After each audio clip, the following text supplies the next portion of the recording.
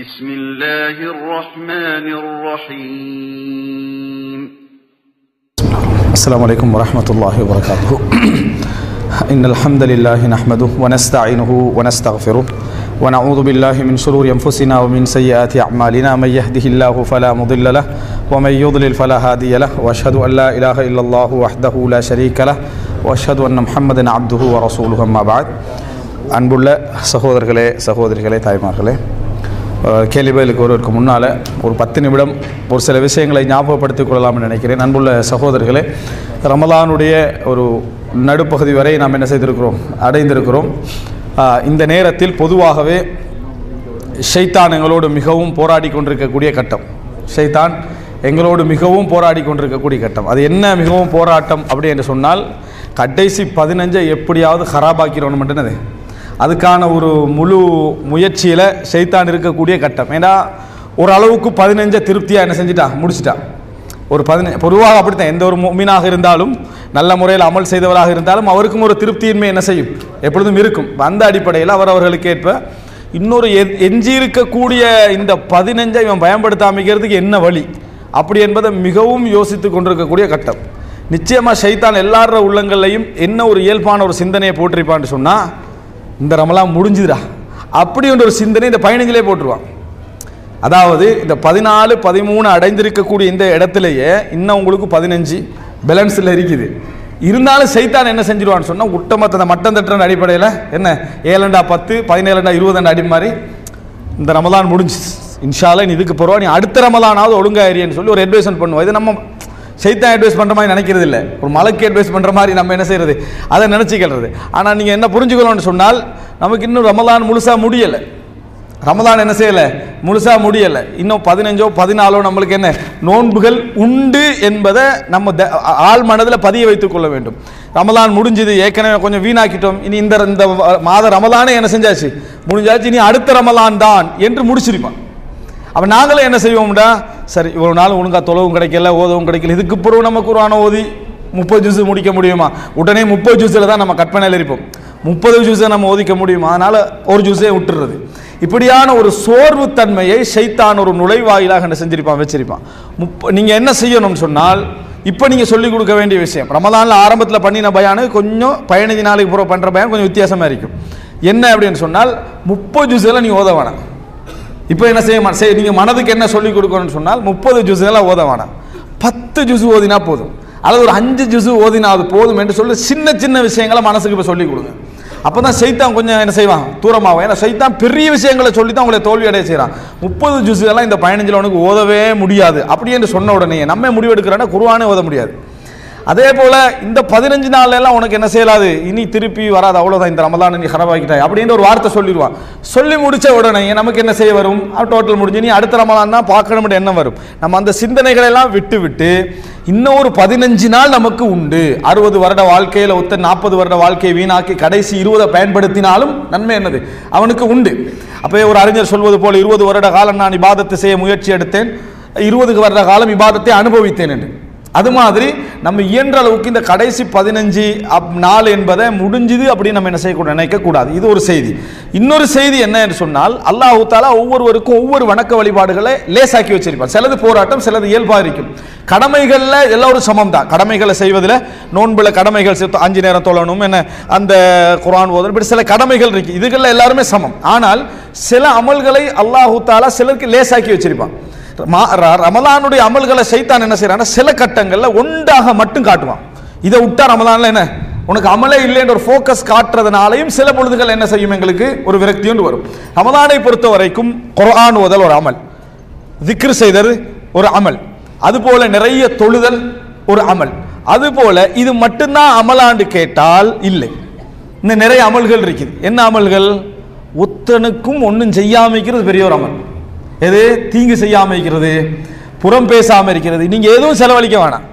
நீங்கள் கஷ்டமே பட வேணாம். நீங்கள் முடிவெடுங்க. இந்த இறுதி பத்துலையும்ப்பா குர்வான் ஓதுனமோ இல்லை எவனை பற்றியும் பேசுறது இல்லை முடிவெடுத்து பாருங்க பாப்போம். குர்வான் ஓதுறது நல்லன்னு சில வேலைப்படும் ஏன்? அவ்வளவு பாரமான ஒரு செயல் போல எதிர்க்குது. இந்த கடைசி பத்திலையும் யாரை பற்றியும் பேசுவதில்லை. கோல் மூட்டுவதில்லை தவறாக பேசுவதில்லை அவதூறு பேசுவதில்லை பொய் பேசுவதில்லை ஒன்றும் செய்கிறதில்லை செய்கிறதில்லைன்னு மட்டும் முடிவெடுங்க. என்ன முடிவெடுங்க? செய்யறதல்ல செய்வது இல்லை. அப்படின்னு கொஞ்சம் விஷயங்கள் இருக்குது. இவைகளை மட்டும் கொஞ்சம் முடிவெடுத்து பாருங்க பாப்போம் கடைசி பதினாலு நாள் தப்பு தாண்டு நீங்க ஒண்ணுமே கஷ்டப்பட வேண்டிய அவசியம் இல்லை. செய்யறதுக்கு எதுவுமே இல்லை. செய்வது இல்லை மட்டும். எது? செய்வது இல்லை. அப்படின்னு கொஞ்சம் விஷயங்களை முடிவெடுத்துட்டு செய்யாம இருந்து பாருங்க பாப்போம் கடைசி பதினஞ்சில் நீங்கள் செஞ்ச மிகப்பெரிய அமல்கள் லைஃப்ல செஞ்ச பெரிய அமலாகும் அது. எது? நம்ம லைஃப்லேயே செஞ்ச இந்த ஒரு பதினு ரெண்டாயிரத்தி பதினெட்டாம் ஆண்டு ஒரு ரமதான் கடைசி பதினஞ்சு நாள் வாழ்ந்த மாதிரி லைஃப்ல என்ன செய்யலை?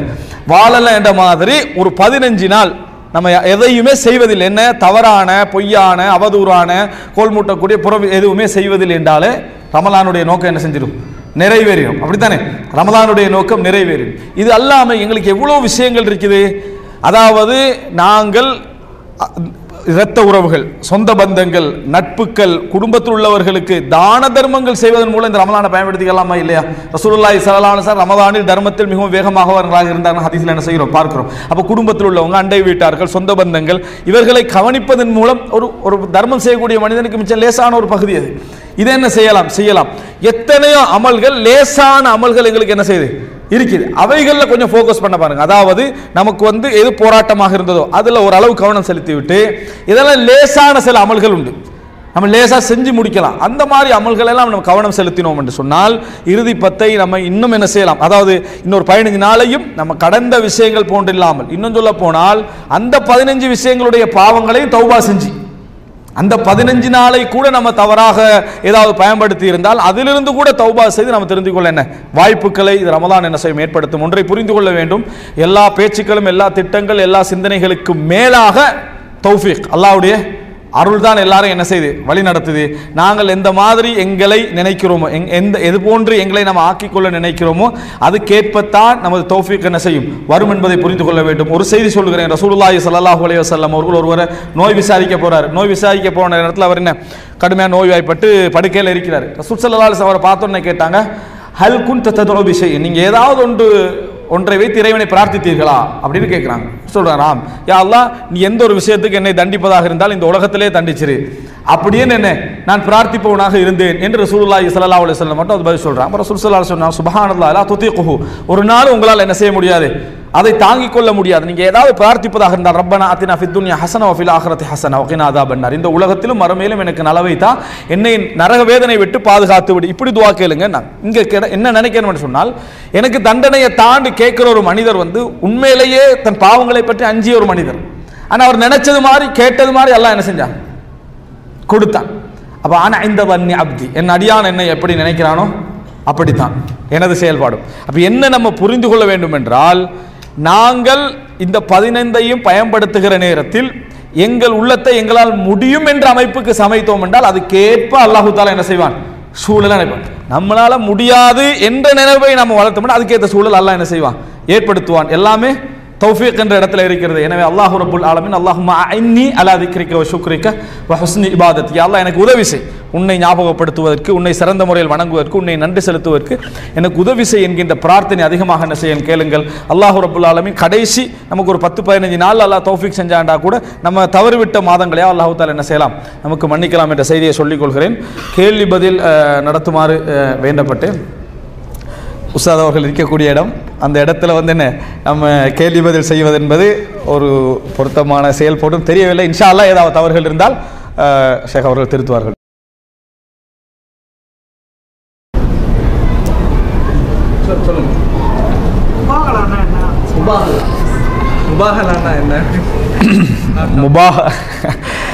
முபாகலா என்றால் என்ன? என்ற சுருக்கமாக முபாகலா என்றால் என்ன தான் கேள்வி?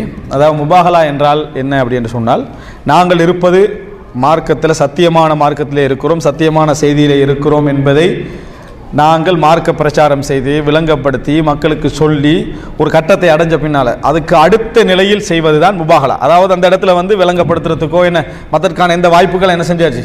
க்ளோஸ் பண்ணப்பட்டாச்சு. இந்த மாதிரி ஒரு நிலையில் நாங்கள் உண்மையில் தான் இருக்கிறோம் என்பதை அந்த சத்தியத்தை சொல்வதற்காக செய்யப்படுவதுதான் முபாகலா அதற்கு குடும்பம் சகிதமாக பிள்ளைகள் மனைவி அந்த யார் அந்த முபாகலா செய்ய போகிறார் அவரும் எதிர்த்தரப்பினரும் ஒரு இடத்துல இருந்து நாங்கள் பாத்தில்லை இருந்தால் அல்லாவுடைய அழிவு எங்களுக்கு என்ன?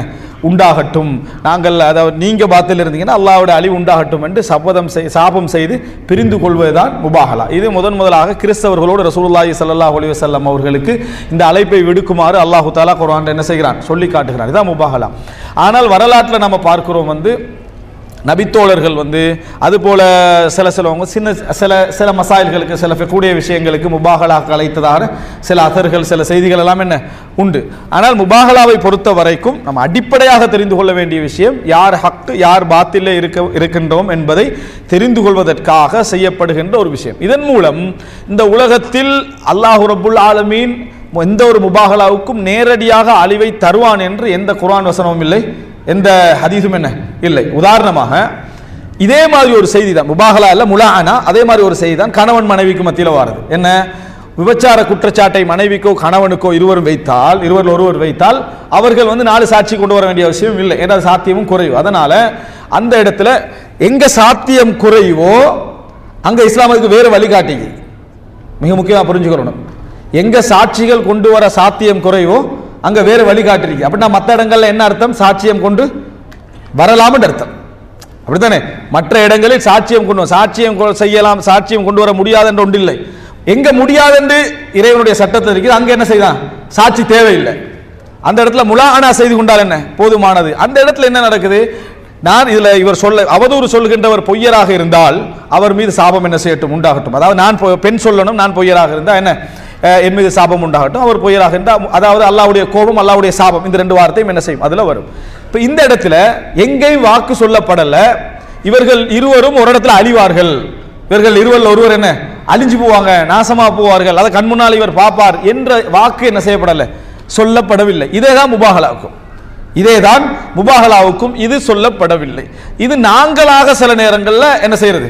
உருவாக்கிக்கல்றத பார்த்தீங்களா இப்போ அவர் பிஸ்னஸில் லொஸ்ட் ஆகிட்டார் எனவே முபாகலாவுடைய விளைவு தான் அப்படின்றது.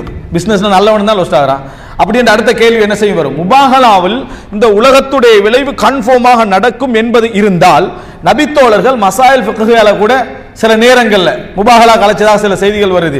அப்போ அவர் அழிஞ்சி நாசமாக போகிறத கண் முன்னால் காண்ற என்ற முபாகலா என்ன செய்யலை? கூப்பிடல. தான் சத்தியத்தில் இருக்கிறேன் என்பதை உறுதிப்படுத்துவதற்காக சொல்லப்படுவதற்காகத்தான் அந்த வார்த்தை என்ன செஞ்சது? முபாகலால சொல்லப்பட்டது. இப்போதைக்கு முபாகலா பற்றிய இந்த விளக்கம் என்னது? போதுமானது.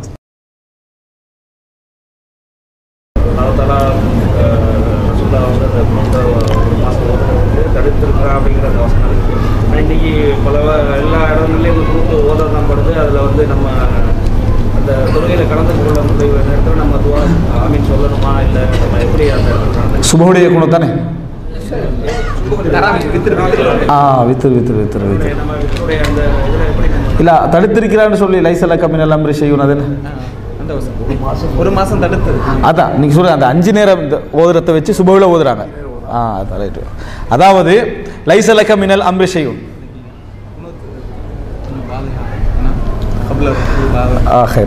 அதாவது லைசலக்க மினல் அதிகாரத்தில் எந்த பங்கும் இல்லை என்ற குரான் வசனம் அல்லாஹு தாலா இறக்கி வைக்கிறான். இந்த அதாவது வசனம் ரசூலுல்லாஹி சல்லாஹ் அலி வசல்லம் ஒரு மாத காலம் என்ன செய்கிறாங்க குனூத் ஓதுறாங்க. அப்போ ஐந்து நேரம் ஓதினாக நம்ம சஹில் புகாரி முஸ்லீம் போன்ற கிரந்தங்களில் பல அறிவிப்பாளர்கள் மூலம் பார்க்குறோம். குறிப்பாக அனசரதி அல்லாஹ் அவர்கள் மூலம் என்ன செய்கிறோம் அந்த செய்தியை நம்ம பார்க்குறோம். இந்த செய்தி வைத்து என்ன செய்கிறாங்கன்றதை நம்ம இங்கே மிக முக்கியம் இல்லை. அதிகாரத்தில் பங்கு இல்லை. லைசல கமினல் அம்ரிஷியூன். அதிகாரத்தில் பங்கு இல்லை என்றது குனூத்தை ரசூலுல்லாஹி ஸல்லல்லாஹு அலைஹி வஸல்லம் அவர்களுக்கு முழுமையாக. அது இனி வாழ்க்கையில் என்ன செய்யக்கூடாது? குனூத்து நாசிலா. ஓதக்கூடாது என்கின்ற அடிப்படையில் வந்த தடையா? இதில் ரெண்டு நிறைய மசாலா நான் ரெண்டே ரெண்டு விஷயத்தை மட்டும் நான் சுட்டி காட்டுகிறேன். அதாவது இனி வாழ்க்கையிலேயே குணூத்து நாசிலா. குணூத்து நாசிலாண்டா பிரச்சனைக்காக சச்சரவுகளுக்காக ஓதுகின்ற குணூத்து என்ன செய்யக்கூடாது? இனி ஓதவே கூடாது என்று வந்த தடையா? அல்லது இந்த சூழலுக்கு மட்டும் ரசூல் சல்லா அலி வசல்லம் அவர்களுடைய அந்த குறிப்பிட்ட சந்தர்ப்பத்துக்கு மட்டும் வந்த தடையா? அப்படி என்பதில் இஸ்லாமிய அறிஞர்களுக்கு மத்தியில் கருத்து முரண்பாடு உண்டு. என்னங்கிட்டா ஆனால் இதை வைத்து இந்த குனூத்து நாசிலாவை வைத்து சுபகு குணூத்துக்கு என்ன செஞ்சுக்கிறாங்க? ஆதாரம் எடுத்து சுபகுல குணு காட்டுவாங்க. சஹிகில் புகாரியில் அனசலாம் அறிவிக்கிறாங்க சுபகுல ரசூலாம் குணுத்தோதினார்கள் அப்படின்னு புகாரியில் வருது? அப்படின்னு என்ன செய்வார்கள்? காட்டி இந்த குணுத்தை எதுக்கு யூஸ் பண்ணுறாங்க சுபகுல அதை குணு தோதுவதற்கு ஷாஃபி யாக்கள் என்ன யூஸ் பண்ணுவதை நம்ம என்ன செய்கிறோம்? பார்க்கிறோம். இது இந்த இந்த எடுகோலை பொறுத்த வரைக்கும் தவறானது. இது ஒரு விதத்தான செயல் என்பதில் சந்தேகம் இல்லை சுபகுல குணு தோதல் என்பது இது விதத்தான செயல் என்பதில் சந்தேகம் கிடையாது. இது போன்ற குணூத்துகளுக்கு நம்ம போனோம் என்று சொன்னால் வித்தருடைய குணு இந்த அஞ்சு நேரத்துக்குரிய குணூத்துக்கு வாரேன். அதாவது இது மாதிரியான சூழலை நம்ம பள்ளிகளுக்கு போனோம் என்று சொன்னால் இந்த குணூத்து விதா நாங்கள் விதத்தில் என்ன செய்யக்கூடாது? இமாமை நம்ம என்ன செய்யக்கூடாது? ஃபாலோ பண்ணக்கூடாது. இது நம்ம அதிகமாக கேட்ட விஷயம். அடுத்த பகுதி என்ன அப்படின்னு சொன்னால் இந்த ஐந்து நேர குணூத்து. இந்த அஞ்சு நேர குணூத்தை பொறுத்த வரைக்கும் இது குணூத்து நாசிலா அதாவது சச்சரவு பிரச்சனைகளுக்குரிய குனூத் இதில் நான் இரண்டு கருத்து இருக்கு. இந்த இரண்டு நிலைப்பாட்டை நாம் என்ன செய்கிறேன் இந்த இடத்துல விளங்கப்படுத்துகிறேன். சில அறிஞர்கள் என்ன சொல்கிறாங்கன்னா ரசூல்லாஹி சல்லாஹ் அலி வஸல்லம் அவர்களுக்கு லைசில கமினல் அம்ரிஷியன் அதிகாரத்தில் எந்த பங்கும் இல்லை என்ற அந்த செய்தி வந்த பின்னால ரசூலுல்லாஹி ஸல்லல்லாஹு அலி வஸல்லம் அவர்கள் தரக்கஹு. மனைவிட்டா அதை விட்டு விட்டார்கள் வருது. அதாவது குனூத்தை முழுமையாக விட்டு விட்டார்களா? அந்த சந்தர்ப்பத்தில் மட்டும் என்னது? ரசூலுல்லாஹி சல்லா அலைஹி விட்டு விட்டார்களா என்பதில் இது நியாயமான கருத்து முரண்பாடு. இதில் பிதாத் என்று சொல்வதற்கான என்னது? சந்தர்ப்பங்கள் இல்லை. இதில் ஏன்னா ரசூல் ஸல்லல்லாஹு அலைஹி வஸல்லம் குனூத்து நாசில ஓதிக்கிறாங்க. ரசூல் ஸல்லல்லாஹு அலைஹி அவர்கள் குனூத்து நாசில ஓதிக்கிறாங்க. எவ்வளோ காலம்? ஒரு மாத காலம் ஓதிக்கிறாங்க. இது வந்து முழுமையாக தடை செய்யப்பட்டதா? அல்லது அந்த குறிப்பிட்ட சம்பவத்து குறிப்பிட்ட நிகழ்வுக்கு மட்டும் தடை செய்யப்பட்டதா என்பதுதான் கருத்து முரண்பாடு. ஆனால் குறிப்பிட்ட நிகழ்வுக்கு மட்டும் தடை செய்யப்பட்டு சொல்லக்கூடிய அறிஞர்கள் கூட குனூத்தை ஒரு மனிதர் தனிப்பட்ட ரீதியாக கேட்கலாம் என்ற நிலைப்பாட்டில் என்ன செய்கிறாங்க இருக்கிறாங்க. அதுக்கு காரணம் ரசூலுல்லாஹி ஸல்லல்லாஹு அலைஹி அவர்கள் எப்படி குனூத் ஓதுவார்கள் என்பதை அபுஹுரேரா ரதி ரலியல்லாஹு அவர்கள் இருக்கிற அறிவிக்கிறாங்கன்னு சொன்னால் ரசூலுல்லாஹி ஸல்லல்லாஹு ஒரு சமுதாயத்துக்கு எதிராகவோ ஒரு சமுதாயத்துக்கு ஆதரவாகவோ என்ன அதாவது பிரார்த்திக்க நினைத்தால் காணத்தை அவர்கள் குனூத் ஓதுவார்கள் என்று வருது. இது ஆமான செய்தி. இது பொதுவான செய்தி. எனவே தனிப்பட்ட ரீதியாக ஒரு மனிதர் குணுத்து ஓதுவாராக இருந்தால் அதில் முரண்பாடுகள் கிடையாது. கூட்டமாக ஜமாத்தாக ஓதுவதில் கருத்து முரண்பாடு உண்டு. ஜமாத்தாக ஓதுவதில் கருத்து முரண்பாடு உண்டு. எனது தனிப்பட்ட முடிவை கேட்டீங்கன்னு சொன்னால் அல்லாஹு ஆலம் இது சம்பந்தமாக எனக்கு இதுவரைக்கும் ஒரு தெளிவான முடிவு இல்லை என்றதை நான் பதில் சொல்லிக்கிட்டே வாரேன். பல இடங்களில் கேட்டாலும் சரி குனூத்து நாசிலா பற்றிய நிகழ்வில் என்னை இப்படி பதில் சொல்லிக்கிட்டே வாரேன். காரணம் என்னன்னு சொன்னால் பெருவாரியான இஸ்லாமிய அறிஞர்கள் குனூத்து நாசிலாவை இருக்குன்னு சொல்லிக்கிறான். இல்லைங்களா? பெருவாரியான இஸ்லாமிய அறிஞர்கள் வந்து குனூத்து நாசிலா என்கின்ற ஒன்று உண்டு. அது பிரச்சனைகள் முஸ்லிம்களுக்கு சச்சரவு வரக்கூடிய இடங்கள் அவர்கள் என்னது? ஓதலாம் என்ற அந்த நிலைப்பாட்டை என்ன செய்திருக்கிறார்கள்? தெரிவித்திருக்கிறார்கள். எனவே இந்த ரெண்டு கருத்து முரமாட்டை நீங்கள் புரிந்து கொள்ள வேண்டும். அதே நேரம் குனூத்து நாசிலா வச்சு சுபகுடைய குனூத்துக்கு யாராவது பயன்படுத்துவாங்களா? இந்த அதுக்கு இதுக்கு எந்த விதமான அலாக்கத்தும் தொடர்பும் இல்லை என்பதுதான் இந்த இடத்துல என்னால் சொல்ல முடிந்த பதில். அல்லாஹு அலம் தராவி வந்து வித்திரு தொழுகை மூணாவது குணூத் அது. சரியா? அதாவது மூன்றாவது ஒரு குணூத். என்ன? வித்திரு குணூத். வித்திரு குணூத்தை பொறுத்த வரைக்கும் சேம் விஷயம்தான். கருத்து முரண்பாடுள்ள ஒரு விஷயம். ரசூலுல்லாஹி ஸல்லல்லாஹு அலைஹி வசல்லம் அவர்கள் வித்திரில் குணு ஓதியதாக ரெண்டு செய்தி வருது. வித்திரில் குணு ஓதியதாக ரெண்டு செய்தி வருது. ஒன்று உபை இப்னு காப் ரதி அன்ஹு அவர்கள் வழியாக வரக்கூடிய செய்தி. அடுத்தது ஹசன் ரதி அன்ஹு அவர்கள் வழியாக வரக்கூடிய செய்தி. இந்த செய்தியில் உபயபுனு காபிர் ரதிலாவோட செய்தியாக இருக்கலாம் ஹசன் ரதிலாவோட செய்தியாக இருக்கலாம். வித்திரு குனூத்தண்டு சம்பந்தப்பட்டு வரக்கூடிய செய்திகளில் எல்லா இஸ்லாமிய ஹதிஸ்கலை துறையில் உள்ள நிறைய அறிஞர்கள் இதை லைவ் தான் என்ன செஞ்சுக்கிறாங்க. சொல்லி இருக்கிறார்கள் என்பதை நம்ம பார்க்கிறோம். இதனால தான் இமாம் மாலிக்கிட்ட கேட்கப்பட்ட பொழுது இமாம் ஷாஃபி ரஹமுல்லா இடத்துல கேட்கப்பட்ட பொழுது அதுபோல் இமாம் இபின் அப்துல் பர் ரஹமஹுல்லா அவர்கள் இது போன்ற பல அறிஞர்கள் என்ன ரசூல்லாஹி ஸல்லல்லாஹு அலி வசலம் அவர்கள் குனூத் ஓதியதாக எந்த செய்தியும் இல்லை அப்படின்னு சொல்றதை பார்க்குறோம். வித்திரில் வித்திரில் குனூத் ஓதியதாக எந்த செய்தியும் இல்லை. காண மாலிக் லாய குணூத் இமாம் மாணிக் அவர்கள் குனூத் ஓதாதவர்களாக இருந்தார்கள் வித்திரில். அப்படின்னு வரக்கூடிய செய்திகளை நம்ம பார்க்குறோம். இதற்கான காரணம் என்னன்னு சொன்னால் ரசூலுல்லாஹி சல்லா அலி வஸல்லம் அவர்கள் தொட்டும் உபை இப்னு ரதி ரலியல்லாஹு அன்ஹு அவர்களும் அடுத்து யாரு? ஹசன் ரதி அன்ஹு அவர்கள் வழியாகவும் வருது. தான் இந்த குனு சப்ஜெக்ட் வருது. ஆனால் அந்த ஹசன் ரலியல்லாஹுவோட செய்தியில் அல்லமனி துஆ அகூலுஹுன்ன ஃபில் வித்ர் என்ற வார்த்தையை தவிர்த்து நான் வித்ரில் ஓத எனக்கு ஒரு துவாவை கற்றுத் தந்தார்கள் என்ற வார்த்தையை தவிர்த்து ஒரு துவா வருது. என்ன? அல்லாஹ் மஹதினி ஃபீமன் ஹதைத் வஆஃபினி ஃபீமன் ஆஃபைத். இந்த துவாவை வித்ரில் குனூத்தில் என்ற வார்த்தையை தவிர்த்து வரக்கூடிய அறிவிப்பு சகியானது இந்த இந்த ரெண்டை தவிர்த்து வரக்கூடிய அறிவிப்பு சகியானது அப்படின்னா என்ன? அது ஒரு பொதுவான துவா. ஜென்ரலா ரப்பனா ரப்பி ரஹமுமா கமா ரப்பயானி சகைரான் ஓதுற மாதிரி ரப்பனா ஆத்தினா ஃபித் துன்யா ஹசனத்தம் வஃபில் ஆகரத்தி ஹசனத்தம் வக்கினா அதா பண்ணார்னு ஓதுற மாதிரி ஒரு ஜென்ரலான ஒரு துவா தான் இது. இந்த அல்லாஹ் மஹதினி ஃபீமன் ஹதைத்தை என்ன செய்யலாம்? மோதிக்கொள்ள இமாம இப்னு ஹுசைமா ரஹிமுல்லா அவர்கள் கூட இந்த செய்தி லைஃபான செய்தி என்ன செய்றார்? அதாவது வித்திரில் குணூத்தில் ஓதுற வரக்கூடிய இந்த செய்தி லைஃபான செய்தின்னு சொல்றாரு. அடுத்தது இமாம் புகாரி முஸ்லீமுடைய அணுகுமுறை முறை நாங்கள் பார்க்குறோம். ரசூல் சல்லா அலி வசல்லம் அவர்கள் இருபத்தி மூணு வருட காலம் இரவு தொழுதிக்கிறாங்க புகாரிலேயோ முஸ்லீம்லயோ என்ன செய்யலைன்னா ரசூலாங்கட வித்திர ரசூலாங்கட இரவு தொழுகை பற்றியெல்லாம் நிறைய செய்திகள் வரும். அழகான செய்திகள் எல்லாம் வரும். எதுலையும் வித்திர சம்பந்தமாக என்ன இந்த குழு சம்பந்தமா என்ன செய்யாது. எந்த செய்தியும் புகாரி முஸ்லீமும் கொண்டு வராது. என்னது? யுஷ்ஐர். எங்களுக்கு என்னத்தை சொல்லுதுன்னு சொன்னா அவர்களிடத்தில் இது என்ன? பலகீனமான செய்தியாக இருக்கலாம். எப்படி மாம் மாலிக்ட மாம் ஷாஃபிகிட்ட பலகீனமாக இருந்தது அது போல இருக்கலாம். அதே நேரம் பிராக்டிக்கலாக ஃபிக்கு ரீதியாக வார நேரத்தில் இமாம் ஷாஃபி குனூத்தை அனுமதிச்சதான சில செய்திகள்லாம் வருது. ரசூலுல்லாய் ஸல்லல்லாஹு அலைஹி வஸல்லம் மோதினார்களான்னு கேட்ட நேரத்தில் என்ன செஞ்சிட்டாங்க? இல்லை என்று சொன்னார்கள் என்பதுதான் இங்கே நம்ம புரிந்து கொள்ள வேண்டிய விஷயம். எப்படியாக இருந்தாலும் கூட இது ஒரு மசலா ஹிலாஃபியா கருத்து முரண்பாடான விஷயம் என்ற எல்லைக்குள்ளிருந்து வெளியே போகக்கூடாது. இது ஒரு கருத்து முரண்பாடு உள்ள செய்தி என்ற எல்லைக்குள்ளிருந்து வெளியே போகக்கூடாது. ஏனால் கணிசமான அறிஞர்கள் வந்து உபைபுன் கபிரதிலாவோட அந்த செய்தியும் ஹசரதிலாவுடைய செய்தியை முழுமையாக வித்திரில் குணூத்துக்குரிய செய்தியாக புரிந்திருக்கிறார்கள். அதை ஆதாரபூர்வமான செய்தி என்றும் சொல்லியிருக்கிறார்கள். அதனால் இது ஒரு கருத்து முரண்பாடு உள்ள செய்தி யாருக்கு எந்த பகுதி மார்க்க ரீதியாக ஆய்வில் சரி என்று படுதோ அவர் அந்த நிலைப்பாடை என்ன செய்யலாம்? எடுக்கலாம். அதே நேரம் எல்லா இஸ்லாமிய அறிஞர்களும் இன்றைக்கு ஓதப்படுறது ஒரு குணூத்துண்டு குழு ஒரு இருபது நிமிடங்களுக்கு என்ன ஒரு பதினஞ்சு நிமிடங்களுக்கு கத்தி அழுது சத்தம் போட்டு ஓதுற குணத்திரிக்க இதை எந்த இஸ்லாமிய அறிஞர்களும் அங்கீகரிக்கலை? எதை? குணூத்திரிக்க என்று சொன்ன அறிஞர்களாக இருந்தாலும் சரி குணூத்து இல்லை என்று சொன்ன அறிஞர்களாக இருந்தாலும் சரி எந்த இஸ்லாமிய அறிஞர்களும் இதை என்ன செய்யல அங்கீகரிக்கல. இது வந்து மிகப்பெரிய குழு இப்படி ஒரு சஜா இந்த மாதிரியான முறை இஸ்லாம் என்ன செய்யல அனுமதிக்கல என்பதில் குறைத்து கொள்ளணும் என்பதில் எல்லாம் என்ன செஞ்சுக்கிறாங்க? இஸ்லாமிய அறிஞர்கள் நிறைய வழிகாட்டி இருக்கிறார்கள். அல்லாஹ் மிக அறிந்தவன்.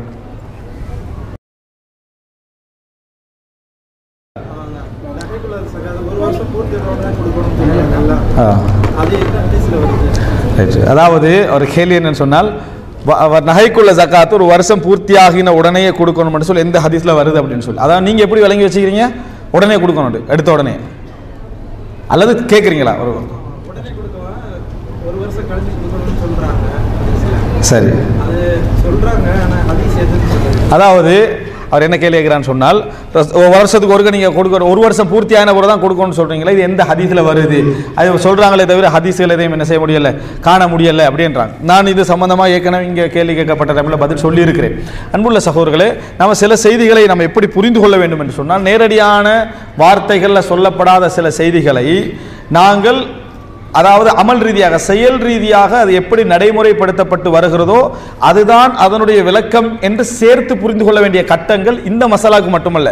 நிறைய விஷயங்களுக்கு இருக்கு. நான் ஒரு சில உதாரணங்கள் உங்களுக்கு என்ன செய்கிறேன் நீங்கள் அப்படி புரிஞ்சு கொள்ளணும் அப்படி என்பதுக்கு சொல்கிறேன் உதாரணமாக ரசூலுல்லாஹி ஸல்லல்லாஹு அலி வசலாம் அவர்கள் தொழுகையில் வந்து என்ன செஞ்சாங்க? இமாம் ஆமீன் சொன்னால் நீங்கள் ஆமீன் சொல்லுங்கன்னு சொன்னாங்க. இமாம் ஆமீன் சொன்னால் நீங்கள் ஆமீன் சொல்லுங்கன்னு சொன்னாங்க. ஒரு சகோதரர் உங்கள்கிட்ட கேட்குறாரு. ரசூல் சல்லா அலுவலம் சத்தமிட்டு ஆமீன் சொல்லுங்கன்னு சொன்னாங்களா? ரசூசலாசம் அவர்கள் சப்தமிட்டு ஆமீன் சொல்லுங்கன்னு சொன்னாங்களான்னு கேட்டால் நாங்கள் என்ன பதில் சொல்லுவோம்? ஹதீஸில் சப்தமிட்டு ஆமீன் சொல்கிறதுக்கு என்ன செய்யலை? வரலை. நிச்சயமாக ஆமீன் சொல்லுங்கன்னு வந்திருக்குது. ஆனால் சத்தமிட்டு ஆமீன் சொல்லுங்கன்னு வரலை. ஆனால் இந்த ஆமீன் என்ற விஷயத்தோடு சப்தமிடுதலையும் சேர்த்து தான் இந்த இஸ்லாமிய உம்மத்தை என்ன செஞ்சுக்குது?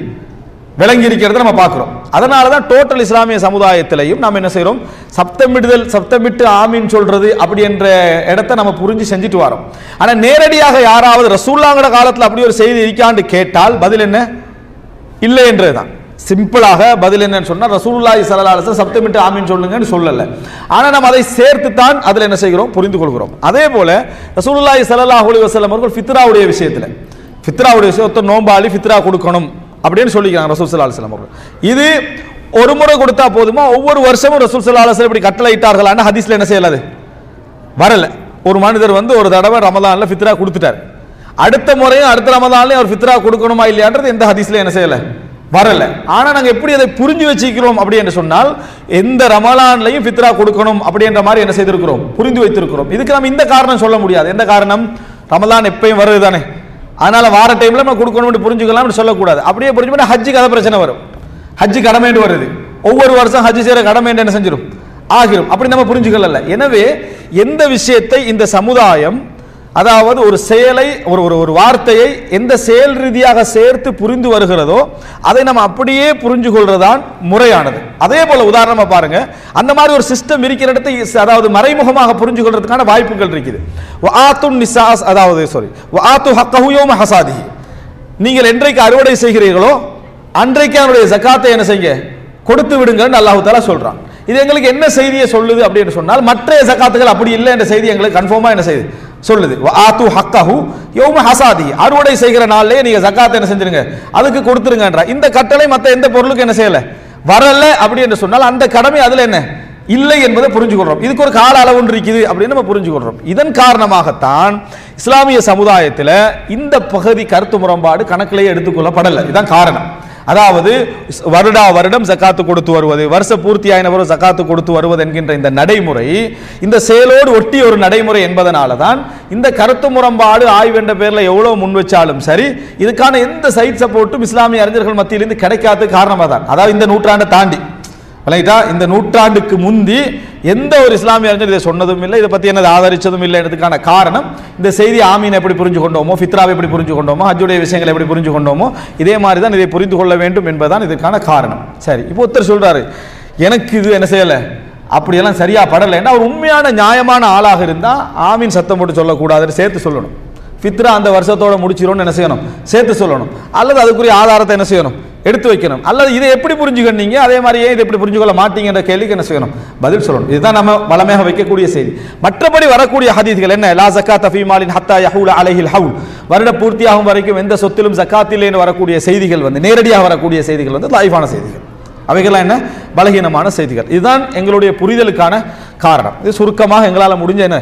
விளக்கம். பாரக்கல்லாஹ் வைக்கும் அதாவது ஒரு கேள்வி என்னன்னு சொன்னால் தொழுகையில் சுஜூதில் துவா கேட்பதாயின் அல் குரான் வசனமாக உதாரணமாக ரப்பன் ஆத்தினா ஃபி துன்யா ஹசனத்தம் ஃபில் ஆக்ரத்தி ஹசனா வக்கீன் ஆதா பண்ணார் அது போன்ற துவாக்கள் ஓதலாமா? என்றால் குரானில் வந்து சுஜூதில் வந்து நம்ம ஓதி ஓதுகிற நேரத்தில் வந்து துவா குரான் வசனங்கள் என்ன செய்யக்கூடாது சொல்லக்கூடாது. மற்றபடியான துவாக்களை என்ன செய்யலாம்? கேட்கலாம்னு தான் விளங்கி வச்சுக்கிறோம். அப்படி கேட்கலாம்னு கேட்குறோம் துவா என்று வரக்கூடிய எதனையும் சுஜூத்தில் என்ன செய்யலாம்? கேட்கலாம். துவா என்று எங்களுக்கு அதாவது குரானில் வந்திருந்தாலும் சரி ஹதீஸில் வந்திருந்தாலும் சரி கேட்கலாம். நம்ம குரானா ஓதுறது தான் கூடாது. குரானா ஓதுறதா என்ன? சுஜூத்தில் இருந்து கண்டு இப்போ நான் ஓத போகிறேன் ரப்பனா அத்தினா ஃபித்துன்யா ஹசரத்தும் அஃபில் ஆகரத்தி ஹசரத்தும் வக்கின் ஆதா பண்ணார் எனக்கு ஒவ்வொரு எழுத்துக்கும் பத்து நன்மை கிடைக்கணும் என்ற நியத்தோடு நீங்கள் சுஜூத்தில் சொன்னீங்கன்னு சொன்னால் அப்போ நீங்கள் குரான் ஓதுறீங்க. அப்போ நீங்கள் என்ன செய்றீங்க? குர்வான் ஓதுறீங்க. ஒவ்வொன்றுக்கும் என்னது? ஒவ்வொரு இப்போ எஹியான்னு ஒருத்தர் புள்ள வைக்கிறார் வீட்டில் யா எஹியா குதில் கிதாபுன்னு ஒருத்தர் சொல்கிறார் எஹியாவே அந்த புத்தகத்தை குரானில் தான் வருது அதுவும் விளங்கிதா யா எஹியா குதில் கிதாப்னு அவருக்கு பத்து நன்மை இல்லை. ஆனால் அப்படி குர்ஆன் வசனம் ஒன்று இருக்குது. எஹியாவே புத்தகத்தை எடு நீயத்துக்கு ஏற்ற மாதிரி தான் என்ன? கூலி. அவர் குர்ஆன் ஓதினார்னு சொல்லக்கூடாது. அவுபிலாமன் சேத்தாரன் சொல்லாமல் எப்படி எஹியா கூப்பிட்டீங்கன்னு கேட்க சொல்லக்கூடாது. அது வந்து அவரோட மகனோட சம்பந்தப்பட்ட விஷயம். விளங்கிட்டா இது மாதிரி எங்களோட நீயத்துக்கு கேட்பதா அது குர்ஆனா மாறுதா துவாவா மாறுதான்றது குர்ஆன் தான். ஆனால் நம்ம சுஜூதில் வச்சு நம்ம ஓதுகிற நேரத்தில் அது நம்ம ஓதலை. ஓதினா நம்ம அதுபில்லாம் விஷயத்தான் சொல்லியிருக்கணும் அது என்ன? ஒரு இடத்துக்கு பத்து நன்மை என்ற அந்த எதிர்பார்ப்பு இருக்கணும். தஜ்வீத் முறைப்படி இதெல்லாம் இருக்கு. அதெல்லாம் எதுவுமே இல்லை. நம்ம அங்கே இடத்துல செய்யறது என்னன்னு சொன்னால் துவா கேட்டல். எனவே துவா கேட்டல் நீங்கள் பலி யக்தர் மினல் மஸ்அலத்தி மாஷா விரும்பிய துவாவை கேளுங்கள் என்ற ஹதீஸில் வருவதனால தாராளமாக குர்ஆனுடைய துவாக்களையோ ஹதீஸுடைய துவாக்களை என்ன செய்யலாம்? கேட்கலாம். அதில் எந்த தடையும் இல்லை. அடுத்ததாக பெண்களின் குரல் வந்து அந்நிய ஆண்களுக்கு கேட்கவே கூடாது? அதன் வரையறை என்ன? பெண் பிள்ளைகள் மதரசாக்கள் சேர்த்து மார்க்க கல்வியை கொடுப்பது கூடுமா? சரி ஒரு கேள்வி தான் இந்த பெண்களுடைய குரல் அவுரத்தான்னு கேட்டால் இதுக்கு எந்த விதமான தெளிலும் இல்லை. அதாவது பெண்களுடைய குரல் அவுரத் அப்படி என்று சொல்லி இஸ்லாம் சொன்னதாக எந்த செய்தியும் இல்லை. பெண்களுடைய குரல் அவுரத்து கிடையாது. பெண்களுடைய குரல் அவுரத்து கிடையாது. விளங்கிட்டா? அதனால தான் இஸ்லாமிய சமுதாயத்தில் ஆண்களோடு பெண்கள் பேசியிருக்கிறார்கள். பெண்களோடு ஆண்கள் என்ன செஞ்சுக்கிறாங்க? பேசியிருக்கிறார்கள். சஹாபாக்களோட பெண் பெண் சஹாபாக்களிடத்தில் சஹாபியில் என்ன செய்திருக்கிறார்கள்? படித்திருக்கிறார்கள். பே- தாபீன்கள் தபு தாபீன்கள் படிச்சிருக்கிறாங்கிற செய்தியெல்லாம் பார்க்குறோம். ஆனால் பெண்களுக்கு இஸ்லாம் என்ன செய்யணும் ஒரு சட்டம் போடுது ஃபலா தஹ்த அனபில் கவுல். நீங்கள் வந்து பேசுகிற நேரத்தில் என்னது? குலைந்து பேச வேண்டாம். பிழைந்து பேச வேண்டாம். என்றால் ஒரு பெண் ஒரு பெண்ணுக்கு தெரியும் ஒரு ஆண் வந்து தவறி போக வாய்ப்புள்ள இடங்கள் என்னது? தெரியும். அதே போல ஒரு ஆணுக்கும் தெரியும். நான் எதையெல்லாம் தவிர்த்து கொள்ள வேண்டும் என்பது தெரியும். அதனால் ஃபயத்மா அல்லது ஃபி கல்விஹி மரத். யாருடைய உள்ளத்திலே நோய் இருக்கிறதோ அவர் என்ன செய்யலாம்? ஆசைப்பட்டு விடலாம். யார்கிட்ட நோய் இருக்குன்னு யாருக்கு தெரியும்? தெரியாது. நோய் இல்லாத மக்கள் என்ன நல்ல தூய்மையான மக்கள் இருக்கலாம். எவனும் தூய்மை இல்லைன்னு சொல்றதுக்கு உலகத்தில் யாரும் இல்லை. விளங்கிட்டா? எல்லாருமே தூய்மை இல்லை தான். அப்படியெல்லாம் சொல்லுவாங்க. அப்படியெல்லாம் இல்லை. தூய்மையான மக்கள் இருக்கிறார்கள் தவிர்க்க முடிந்த மக்கள் இருக்கிறார்கள் நேர்மையான மக்கள்லாம் இருக்கிறாங்க. ஆனாலும் யார் இடத்துல நோய் இருக்கு யார நோயை தூண்டுவான்றதெல்லாம் நமக்கு என்ன? தெரியாது. அதனால அல்லாஹ் என்ன சொல்றாருன்னா நீங்கள் பேசுகின்ற பொழுது குழஞ்சி என்ன செய்ய வேண்டாம். பேச வேண்டாம். அதுக்கான சண்டை பிடிக்கிற மாதிரி பேச வேண்டிய அவசியம் இல்லை. விளங்கிட்டா ஏதாவது ஒன்று கேட்குறேன்டா இல்லை மூடு அப்படின்ற மாதிரி பேச வேண்டிய அவசியமும் இல்லை. நம்ம நளினமாக பேசலாம் ஆனால் அந்த பெண் என்ன தெரிந்திருக்கணும்னா என் வரையறைக்குள்ள நான் பேசுகிறேன்னா இல்லையா? இது ஒரு பகுதி. இரண்டாவது விஷயம் என்னன்னா தேவைப்பட்டதை பேசுகிறேன்னா இல்லையா? பேசலாம்னு இஸ்லாம் சொல்லுது. அதுக்காக வேண்டி எல்லாமே என்ன? பேசலாம்னு அர்த்தம் அல்ல. எல்லாமே பேசலாம்னு அர்த்தம் அல்ல. எது தேவை எப்பொழுது அவசியமே ஏன் தேவை என்ற விஷயங்களை உணர்ந்து பேசுவதற்கு அனுமதி உண்டு. மற்றபடி அதாவது சவுத்துல் மரா அவுரா என்று சொல்லி பெண்ணுடைய குரல் அவுரத் என்றது ஒரு அடிப்படை இல்லாத என்ன குர்வான் சொன்னால வராத ஒரு செய்தி என்பதை நாங்கள் புரிந்து கொள்ள வேண்டும். அடுத்ததாக அதாவது பெற்றோரின் கஷ்டமான நிலையில் எங்களுடைய நகையை பெற்றோர் பெற்றோர் தந்தது. அப்போ அவங்களுடைய நகை ஹஸ்பண்ட் அனுமதி இல்லாமல் கொடுக்கலாமா? ஹஸ்பண்ட் அனுமதிக்காவிட்டால் என்ன செய்வது? எவ்வாறு உதவுது அதாவது உமா வாப்பா வந்து நகை கொடுத்துருப்பாங்க. விளங்கிட்டா?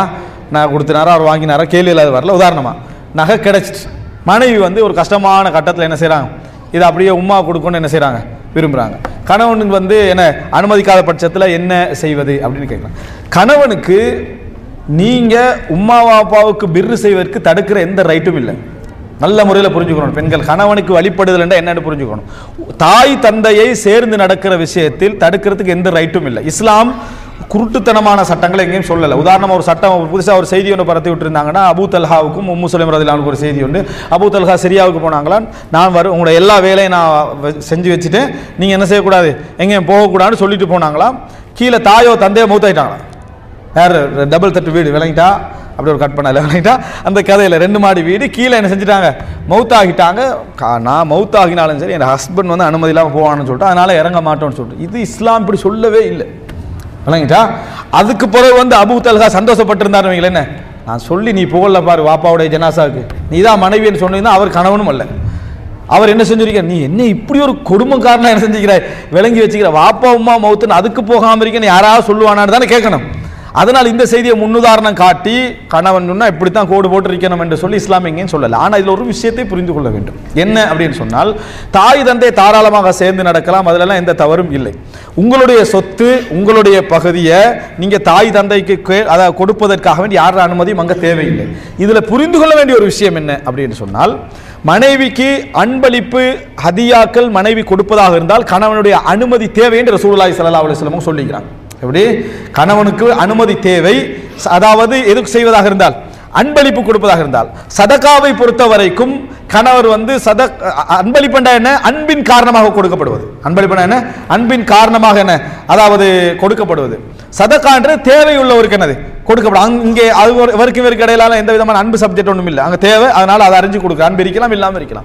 இந்த அன்பை பொறுத்த வரைக்கும் அதாவது தர்மத்தை பொறுத்த வரைக்கும் ரசூலுல்லாஹி ஸல்லல்லாஹு அலுவலம் என்ன சொல்லிக்கிறாங்க அப்படின்னு சொன்னால் கணவனுடைய பணத்திலிருந்து முறையாக அவரை நஷ்டப்படுத்திடாம தர்ம மண்டபத்தில் பேரை நஷ்டப்படுத்திடாம எடுத்து கொடுத்தால் உங்களுக்கு அதில் நன்மை உண்டு ரசூலுல்லாஹி ஸல்லல்லாஹு அலுவலம் சொன்ன அதிகம் என்ன செய்கிறோம்? பாருங்க அன்பளிப்பை பொறுத்த வரைக்கும் கணவனுடைய அனுமதி இல்லாமல் செய்யக்கூடாது என்று ரசூலுல்லாஹி ஸல்லல்லாஹு அலைஹி வஸல்லம் என்ன செய்திருக்கிறார்கள்? சொல்லி இருக்கிறார்கள் தாய் தந்தை பிர்ருல் வாலிதீனோட சம்பந்தப்பட்ட தாராளமாக என்ன செய்யலாம்? அவர்கள் கவனிக்கலாம் அதில் சந்தம் இல்லை. ஆனால் இதில் கவனிக்க ஒரே ஒரு பாயிண்ட் இருக்குது. என்ன என்றால் ஒரு கணவனோட நீங்க வாழணும்னு நினைக்கிறீங்க. ஒரு கணவன் மனைவி கணவனோட வா- அதிகார பங்கு யார கையில இருக்குது? கணவனுடைய கையில இருக்குது. இதை செய்வதன் ஊடாக இந்த நகையை செய்வதன் ஊடாக நகையுடைய தர்மத்தை நீங்க செய்வதன் ஊடாக அந்த பிறதன் ஊடாக உங்களுடைய வாழ்க்கை பிரச்சனையில போய் முடிஞ்சு பிரிவு வாரதாக இருந்தால் இப்ப ரைட் ரோங் பேசலாம் நல்ல முறையில் புரிஞ்சுக்கணும். இங்க எது பேசலாது? தவறு சரி பேசலாது. ஏன்? நான் சொன்னதை நீ கேட்கல. எனக்கு விவாகரத்து செய்கிற உரிமைக்கு நான் விவாகரத்தை செஞ்சுட்டேன்னு சொன்னால் கவலைப்பட போகிறது யாரு? நீங்கள் நஷ்டப்பட போகிறது யாரு? பாதிக்கப்பட போகிறது பிள்ளைகள். அழப்போகிறது குடும்பம். இந்த மாதிரி ஒரு கட்டத்தில் ஒரு பெண் ஒரு நிதானமாக புத்திசாலித்தனமாக நடந்து கொள்வதுதான் மிகவும் சிறந்தது. அதுக்கு நான் ஒரு செய்தி சொல்லிக்கிறேன். என்றாலும் இந்த இடத்துல பிரயோசனம் என்பதனால் அந்த செய்தியை சொல்லி நடத்த கேள்விக்கு வரேன். கேள்வி வந்து இப்படி புக் கணக்கில் இருக்குது. சரியா? என்னன்னா உங்களுக்கு தெரியும் அஸ்மா ரதியுல்லா அஸ்மா பின் எல்லாம் அவங்களோட செய்தி. அஸ்மா பின் உமேஸ்ல வந்து ஒரு சகோ ஒருத்தர் கேட்குறாரு உங்களோட வீட்டு நிலையில் ஒரு கடை போட்டுக்கொள்வான்னு கேட்குறாரு. ஒரு வீட்டு நிலையில் கடை போட்டுக்கலாம் அப்போ அவன் அஸ்மா இல்லாங்க என்ன சொன்னாங்க? அவங்க சொல்லிக்கலாம். அவன் சிம்பிளாக சொல்லிக்கலாம் தாராளமாக கடை போட்டுட்டு போங்கன்னு சொல்லிக்கலாம். அவங்க என்ன சொன்னாங்கன்னா நான் இப்போ ஆமன்ட்டு சொன்னால் ஜுபேர் வானான்னு சொல்லுவார். முஸ்லீமில் வர செய்தி. எப்படி? நான் இப்போ ஆமென்று சொன்னால் நான் கொடுத்தது அவர் கேள்விப்பட்டான்னு வைங்களேன். கேன்சல் என்ன செஞ்சிருவார்? அதை கேன்சல் பண்ணிடுவார். அதனால் நான் சுபைரோடு இருக்கிற நேரத்தில் நீங்கள் வாங்க.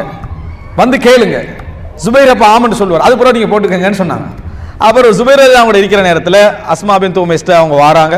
இப்படி போடலாமான்னு கே கடையை போட்டுக்கலாமான்னு கேட்குறாங்க அவர் சுபை தாராளமாக போட்டுக்கங்கன்னு என்னது?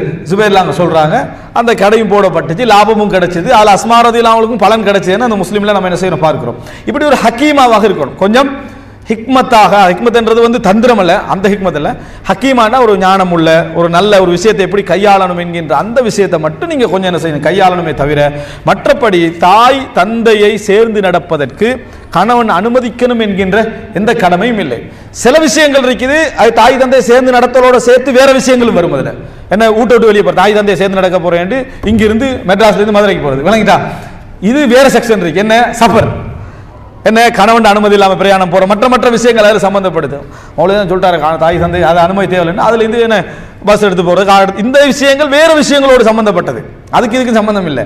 ஆனால் சேர்ந்து நடப்பதற்கு மார்க்க ரீதியாக ஒரு கணவன் அனுமதி கேட்கணும்ன்ற எந்த விதமான என்ன நிபந்தனையும் கிடையாது என்பதை புரிந்து கொள்ள வேண்டும்.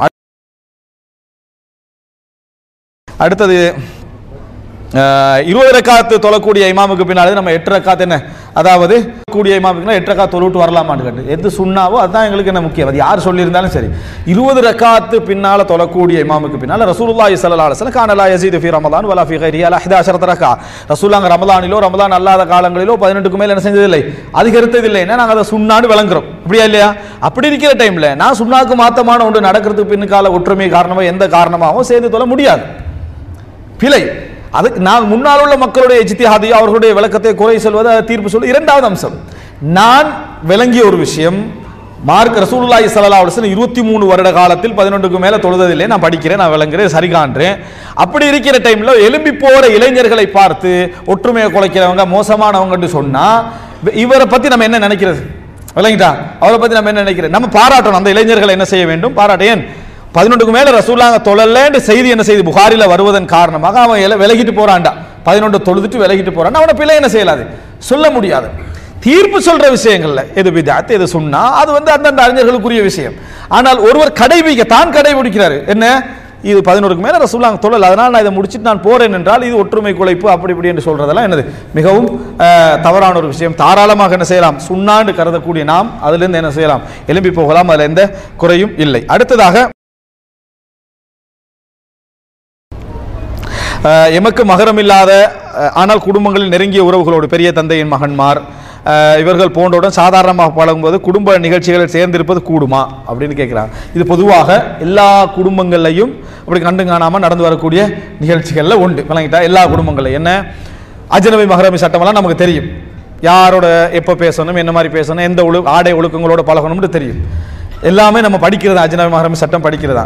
ஆனால் நம்ம வீட்டுக்கு உட் போன போன உடனேயே தங்கச்சி தாத்தான்னு சொல்லியே ஒரு நம்ம பழகி வளர்ந்துருப்போம். பெரிய அம்மாவுடைய சாட்சி இது இருக்குது விளங்கிட்டா. இந்த பழக்கங்களை வந்து நம்ம எந்த அளவில் கொண்டு வரலாம் அப்படின்றத புரிஞ்சுக்கொள்ளணும்.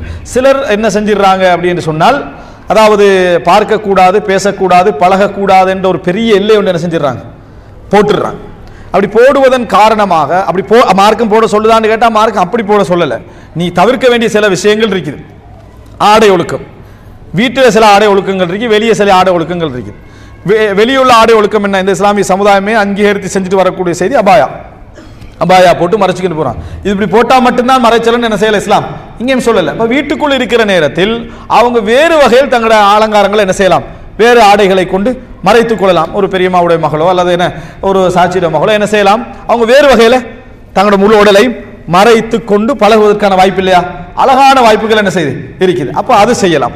தனிமையை தவிர்க்க வழி இல்லையா? அந்த சொந்தங்களோடு தனிமையை தவிர்க்க வழி இல்லையா? ஏ குடும்பமெல்லாம் இருக்கிற நேரத்தில் தனிமையை தவிர்க்கிறதான எல்லா வாய்ப்பும் என்ன செய்யுது? இருக்குது.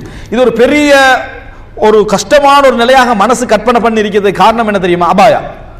வீட்டுக்குள்ள அபாயா போட்டால் தான் இவரோட பேசலாம் என்ற அந்த க- அந்த இது வந்துச்சுன்னா நமக்கு எந்த வகையிலும் என்ன அவரோட பழக முடியாது என்கின்ற ஒரு எல்லைக்கு என்ன செய்யும்? அது வரும்.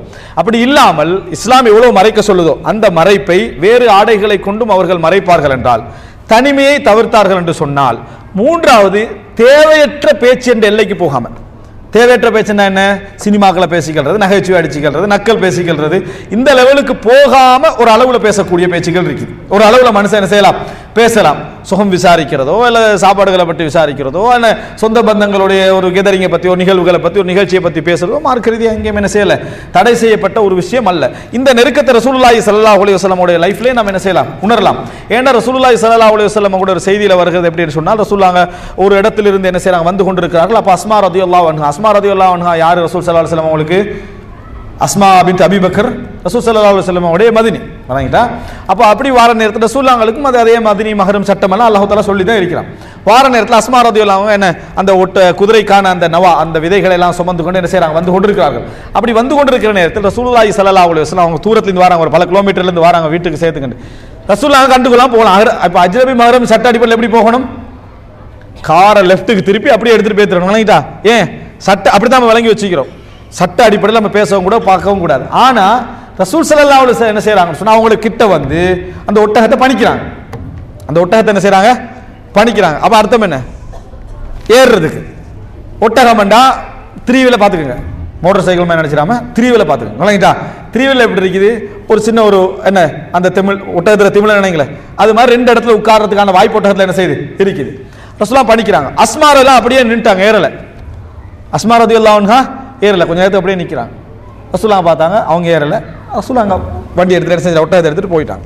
இந்த செய்தியை உசுபைர் எல்லாம் சொல்லிட்டு அஸ்மார் அல்லாங்க சொல்கிறாங்க ரசூலாங்க எப்படி நடந்து கொண்டார்கள்? நான் ஏறல. ஃபர்ஸ்ட் ஹேய்த்து நசீரம் ஆர் ரிஜால். ஆண்களோட போகிறதுக்கு நான் வெக்கப்பட்டேன் நான்.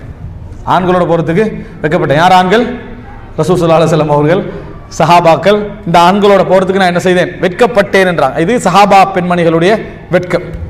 அப்போ இதில் முக்கியம் என்ன இதுல செய்தியை நம்ம என்ன தெரிஞ்சுக்கிறோம்னு சொன்னால் ரசூலுல்லாஹி ஸல்லல்லாஹு அலைஹி வஸல்லம் இதை கண்டிக்கல. இன்னொரு செய்தியில் நம்ம பார்க்கிறோம். அதாவது சஹாபியுடைய பேர் என்ன அசீதுன்னு நினைக்கிறேன்? அபு அசீத் அல்லது அசீத். அதாவது அவருடைய திருமணம்.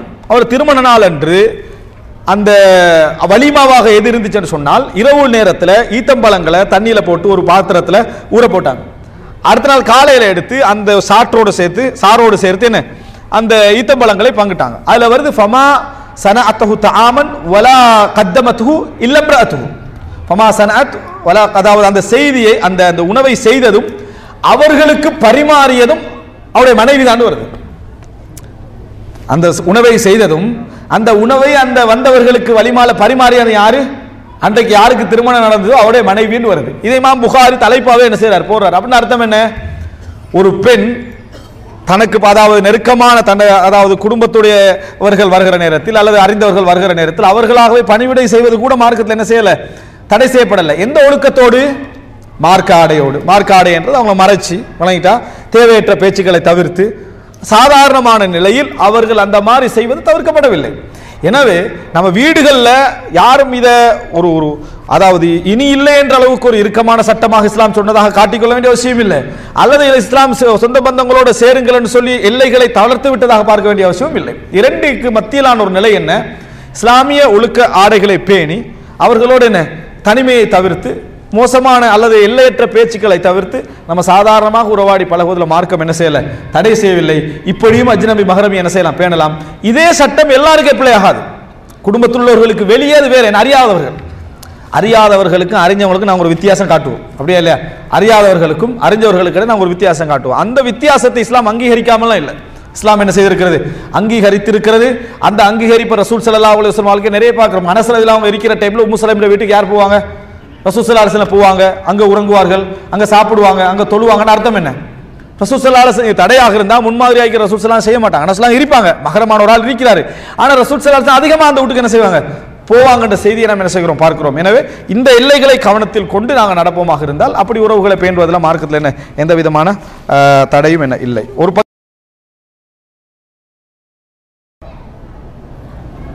மாதாவிடாய் காலத்தில் உம்ராவுக்கு சென்றால் பெண்களுக்கு ஆகமானதாக உள்ள காரியங்கள். சாய் செய்யலாம். வேறு என்ன செய்யலாம்? முடிவெட்டணுமான்னு கேட்கணும் அதாவது ஒரு பெண் வந்து என்ன செய்கிறாங்கன்னு சொன்னால் அஹ், முதல்ல மாதாவிடாய் காலத்தில் உம்ரா போகக்கூடாது. உம்ராவுடைய வேலை என்ன செய்யக்கூடாது? உம்ராவுடைய நியத்தில் போகக்கூடாது. அவங்க எதுக்கு போகலாம்? தொலை போகலாம். சாரி அதாவது ஹரத்துக்குள்ளே போகலாம். அங்கிருந்து குரான் ஓத போகலாம். மற்ற மற்ற விஷயங்களுக்கு போகலாம். அதில் தடை இல்லை. அவங்களுக்கு தடை செய்யப்பட்டது என்ன? பெண் மாதாவிடா பெண்களுக்கு தடை செய்யப்பட்டது என்ன? ஒன்று வந்து என்ன? அதாவது தொழுகை தடை நோன்பு தடை தவாஃபு தடை கணவன் மனை உறவு என்ன தடை. இந்த உடல் உறவு தடை. இந்த நாளை தவிர மற்றதும் தடுக்கப்பட்டதாக ஹதீஸ்கள் என்ன செய்யலை? நாங்கள் பார்க்க முடியவில்லை. எனவே அந்த பெண் அந்த பள்ளிக்கு போவதோ அங்கே இருந்த ஒரு குரானை ஓதிக்கொள்வதோ அவைகள் தடை செய்யப்பட்டதல்ல. ஆனால் உம்ரானியத்தில் போவது என்ன? பெண் மாதாவுடைய அனுப்பிச்சானா அவங்களுக்கு உம்ரா என்ன? செய்ய முடியாது. சையை மட்டும் தனியாக செய்யலாம்ன்றது இல்லை. சையை மட்டும் தனியே செய்யலாம் என்பது இல்லை என்பது நம்ம புரிஞ்சு கொள்ள வேண்டும். அல்லது அந்த பெண்மணி என்ன செய்யலாம் அப்படி என்று சொன்னால் ஒரு பெண்மணி மாதாவிடாய்க்கு போகிறாங்கன்னா அந்த காலம் முடியும் வரைக்கும் உங்களுக்கு வெயிட் பண்ணி வர முடிய சந்தர்ப்பம் இருந்தால் அந்த ஹராம் நியத்தோடையே இருந்து அது முடிந்த பின்னால் உம்ரா செய்து விட்டு என்ன செய்யலாம்? வரலாம். அதே நேரம் ஹெராம் அணிந்த பின்னால எதுவும் கேட்டிக்கிறாங்க. ஹெராம் அணிந்த பின்னால் அவங்களுக்கு மாதாவிடை ஏற்பட்டு விட்டால் கட்டாயம் அடுத்த முறை வந்து உம்ரா செய்யணும் எந்த கடமையும் என்ன? இல்லை. அவர்களால் உம்ரா செய்ய முடியாது விட்டால் உரிய நாட்களில் திருப்பி வரணும்னு சொன்னால் அவர்கள் மீது எந்த குற்றமும் இல்லை. ஹயர் சாய் சேரமா சஃபா மருவால உட்காரலாமா அப்படின்ற தெளிவுபடுத்தியிருக்கு அதாவது ஓடிக்கொண்டு சஃபா மருவால உட்கார்றது. சும்மா. உட்கார்றது. சும்மா உட்கார் பொதுவானவங்க எல்லாரும். அதாவது நம்ம சை செய்கிறோம் தானே சை செய்கின்ற நேரத்தில் வந்து நம்ம வந்து உட்காரலாமா? இடையில வந்து என்னது ஒரு டயர்ல அதில் உட்காரல மாட்டோம். மார்க்க ரீதியாக எந்த தடையும் என்ன? உட்கார்றதுக்கு இல்லை. நம்ம சை செய்கிற டைமில் ஒருவர் உட்காரணும்னு நினைச்சாருன்னா அதுக்கு இந்த மாதிரி தடையும் இல்லை. ஆனால் அந்த தடை எப்படி புரி அந்த உட்காரத்தில் எப்படி புரிஞ்சுக்கணும்னு சொன்னால் உது மாதிரி.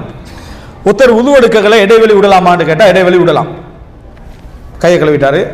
வாயை கொப்பளிச்சார் ஃபோன் கால் வருது. பேசுகிறாரு சரியா? பேசிட்டு அடுத்தது கழுவலாமான்னு கேட்டால் கழுவலாம். இந்த இடைவெளி எப்படி புரிஞ்சுக்கொள்ளக்கூடாண்டா கையை கழுவிட்டு புறவை பார்த்துக்கணும்னு சொல்லிட்டு போய் மார்க்கெட்டில் எல்லாம் பேச்சஸ் எல்லாம் பண்ணி போட்டு ஒரு அவருக்கு புறம் வந்து தலையை மசூல் செஞ்சானா இது என்ன? இது பிழை. இதுதான் அந்த இடைவெளி நீங்கள் புரிஞ்சு ஒரு மனிதர் ஓடுறாருன்னா ஓடுகிற நேரத்தில் அந்த முவாலா திரிக்கணும். அந்த முவாலாத் என்ன செய்ய வேண்டும்? இருக்க வேண்டும். அந்த முவாலாத் கட் பண்ணுற அமைப்பில் என்ன செய்யக்கூடாது? நடக்கக்கூடாது. அதுக்கு நியாயமான காரணங்கள் இருந்தால் ஓகே. நியாயமான காரணங்கள் என்ன? குழந்தை அழுகுது மற்ற மற்ற விஷயங்கள். ஏதோ ஒரு காரணமாக நிற்க அல்லது அவரால் அதுக்கு ஓட முடியலை மூச்சு என்ன செய்யுது இறக்கிது நின்று கொஞ்சம் ரெஸ்ட் எடுத்தால் தான் அவருக்கு என்ன செய்யலாம்? ஓடலாமான்னா மறுக்கிறது ரீதியாக எந்த தடையும் என்ன? இல்லை. அது அல்லாமல் சும்மா கொஞ்சம் வேறு விஷயங்கள் கொஞ்சம் பார்ப்போம் மட்டும் உட்கார்ந்தேனே எல்லாம் பார்த்துட்டு இந்த மாதிரி இந்த மாதிரி வேலை செய்வாங்களாக இருந்தால் சில பொழுதுகள் சாய் பாத்திலாகவும் என்ன வாய்ப்பு இருக்கிறது என்பதை கொஞ்சம் கவனத்தில் வைத்திருக்க வேண்டும். காரணம் முவாலாத் என்கின்ற பகுதி மிக முக்கியமான ஒரு பகுதி. அல்லாஹுவாலம் அடுத்ததாக ஒரு ஆங்கிலத்தில் ஒரு கேள்வி எப்படி நம்ம எங்களோட தொடர்பை மெயின்டைன் பண்ணுறதுன்னு கேட்டிக்கிறாங்க ஆனால் கடைசியாக அது என்னென்னு விளங்கல. காதியானியா? காதியானி தானா? ஆ சரி.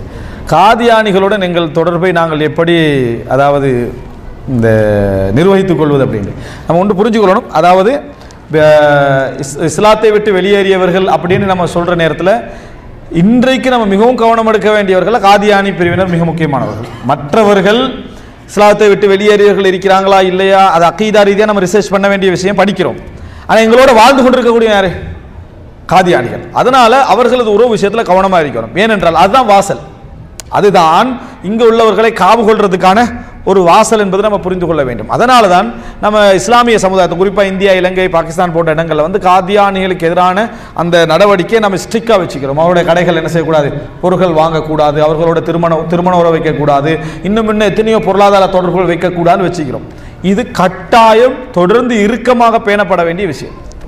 இறுதி நபித்துவத்தை மறுத்த அவர்களோடு கட்டாயம் இறுக்கமாக பேணப்பட வேண்டிய விஷயம். காரணம் சில அமைப்புகளை பொறுத்த வரைக்கும் நம்ம புரிஞ்சு கொள்ளலாம் அவர்களுடைய வழிதவருக்கு பின்னால இஹ்லாஸ் இருக்கலாம் அறியாமை ஆனா இஹ்லாஸ் இருக்குது அப்படின்னு புரிஞ்சுக்கலாம் இந்த காதியானிசத்தை பொறுத்த வரைக்கும் என்ன? இஹ்லாசின்மை தான் அதிகம். காதியானைகளை பொறுத்த வரைக்கும் இஹ்லாசின்மை அதிகம் என்பது நீங்கள் சிம்பிளாக அவர்களோட விஷயத்தில் உட்கார்ந்து ஒரு பேச்சுவார்த்தைக்கு வர மாட்டாங்க ஒரு கலந்துரையாடலுக்கு வர மாட்டாங்க ஒரு இருப்புக்கு என்ன செய்ய மாட்டாங்க வர மாட்டாங்க எது வந்தாலும் சரி அதுக்கு பின்னால் அந்த மிர்சா குலாம் முகமது அல் காதியானி என்றவரை கடவுளாக்காத குறையாக என்ன செய்வார்கள்? அதில் பேசுவார்கள். இதுதான் அவருடைய நடைமுறையாக இருந்துச்சு.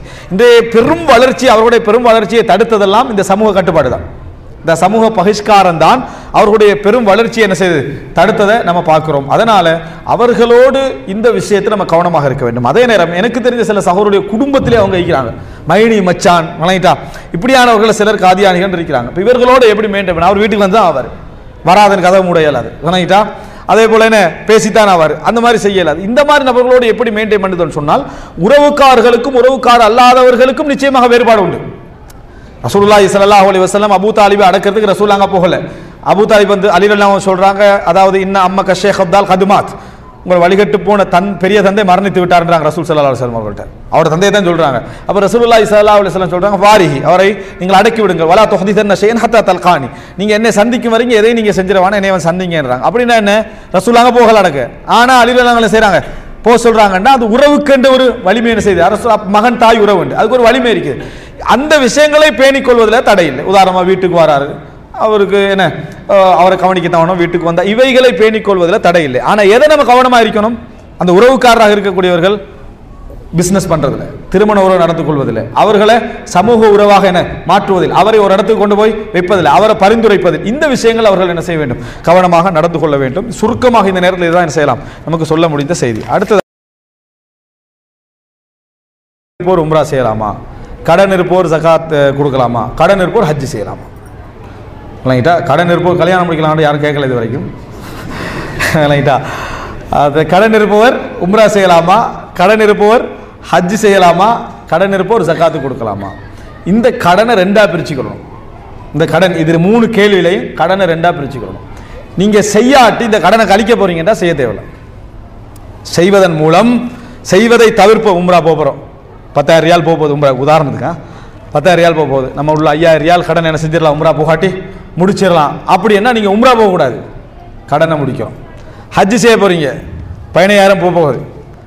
இதில் நம்ம ஹஜ்ஜை நிறுத்தினோம்டா நம்ம ஒரு பத்தாயிரம் கடன் என்ன செய்யலாம்? முடிச்சிடலாம்டா. நீங்கள் ஹஜ்ஜி போகக்கூடாது கடனை தான் என்ன செய்யணும்? முடிக்கணும். ஜக்காத்து. ஒரு பத்து லட்சம் இருக்குது. ஜக்காத்து உங்களுக்கு அதில் கடமையாகுது ஜக்காத்து அதில் உங்களுக்கு கடமையாகுது ஆனால் எட்டு லட்சம் கடன் இருக்குது. எட்டு லட்சம் கடனை கொடுத்தா ஜக்காத்து கடமைன்ற பகுதி என்ன செஞ்சிருது? அங்கே இல்லாமல் போயிருது. ஏண்டா நீங்கள் ஜக்காத்தை கொடுக்க வேண்டிய விஷயம் இல்லை. என்ன செய்யணும்? அப்படி எடுத்து எட்டு லட்சத்தை எடுத்து கடனை கொடுத்துடணும். இதுதான் இஸ்லாம் சொல்லக்கூடிய செய்தி. ஆனால் ஒருத்தருக்கு ஒரு கோடி கடன் இருக்குது. உதாரணத்துக்கு விளக்கப்படுத்துற ஒரு- ஒரு கோடி கடன் இருக்குது. உம்ராக்கு இருநூத்தம்பது ரியால். விளங்கிட்டா? உம்ராவுக்கு இருநூத்தி ஐம்பது ரியால். கடன் இருப்பவர் உம்ரா செய்யலாமா? கடன் தான் உம்ரா செய்யக்கூடாது. அப்போ கடனே கொடுக்க மாட்டான். விளங்கிட்டா? உம்ராவும் செய்ய மாட்டான். கடனே கொடுக்க மாட்டான் உம்ராவும் செய்ய மாட்டான். அப்ப எந்த கடன் அப்படி என்றால் நீங்கள் தவிர்த்தால் அந்த கடனை அடைப்பீர்களாக இருந்தால் அந்த கடன் இருந்தால் நீங்க உம்ரா செய்யக்கூடாது ஹஜ்ஜும் செய்யக்கூடாது சகாத்தும் கொடுக்கக்கூடாது. அது அதோட பாட்டில் இருக்க போகுது இது போற மாதிரி என்ன செய்யும்? போயிட்டு இருக்கும். அதுல ஒன்னே சிலர் இருக்கிறாங்க உதாரணமா ரெண்டு லட்சம் கொடுக்க வேண்டியிருக்கீங்க மூணு லட்சம் இருந்தால் ஹஜ் மூணு லட்சம் இருந்தா ஹஜ் இப்போ நீங்க பார்க்க சாரி ஒரு லட்சம் கொடுக்க வேண்டியிருக்குது. ஒரு இவர்கிட்ட கையில் வந்து என்ன? ஒரு ஐம்பதனாயிரம் இருக்குது. ஐம்பதனாயிரத்தில் ஒரு வேலை ஒன்று இருக்குது. ஹஜ் உம்ரா சக்காத்த வைங்களேன் ஒரு வேலை ஒன்று இருக்குது. ஃபஸ்ட்டுக்கு நான் ஒரு ஐம்பதாயிரத்தை தரேன். புறவு அதெல்லாம் சரி வர ஒரு ஒரு லட்சம் தாரண்டா தான் அப்படின்னு அவன் சொல்கிறான் என்ன நீ என்ன செய்யலாம் இப்போ? ஹஜ்ஜுக்கு போகிறனா போகலாம். உம்ராவுக்கு போகிறனா போகலாம். ஒரே ஒரு நிபந்தனை தவிர இதை சேர்த்து நீ அடுத்ததும் சேர்த்து கொடுக்க போறி என்று இருந்தாலே தவிர. எனவே கடன் அடைத்தல் என்பது இந்த மூன்றுக்குள்ளேயும் இருந்தால் அதை நீங்கள் செய்யக்கூடாது. அப்படி ஒன்று இல்லைன்னா சும்மா கடன் ஆளி சக்காத்து கொடுக்கறதுலன்னு சொல்லிடக்கூடாது. நல்லா ஒரு இருபத்தஞ்சு லட்சம் முப்பது லட்சம் சக்காத்து கடமை ஆயிரும் பத்து பேர் கடன் வாங்கிடுறது முடிஞ்சுது. விளங்கிட்டா கடன் வாங்கிட்டா என்ன? ஜக்காத்து கொடுக்க வேண்டிய அவசியம் இல்லை. அதான் ரெண்டு பேர் நூறுரூவா கடன் வாங்கினா போதுமே.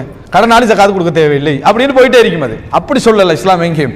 கடனாளி அதன் ஊடாக கடனை அடைப்பாராக இருந்தால் முதல் விஷயம் ஹுக்குலிபாத் அடியார்களுக்கு செய்ய வேண்டிய கடமை என்ன செய்யணும்? முடியணும் என்பது. அந்த அடிப்படையில் தான் அதை என்ன செஞ்சது? சொல்லப்பட்டது. அடுத்தவர் பணத்தில் உம்ரா ஹஜ் செய்யலாமா?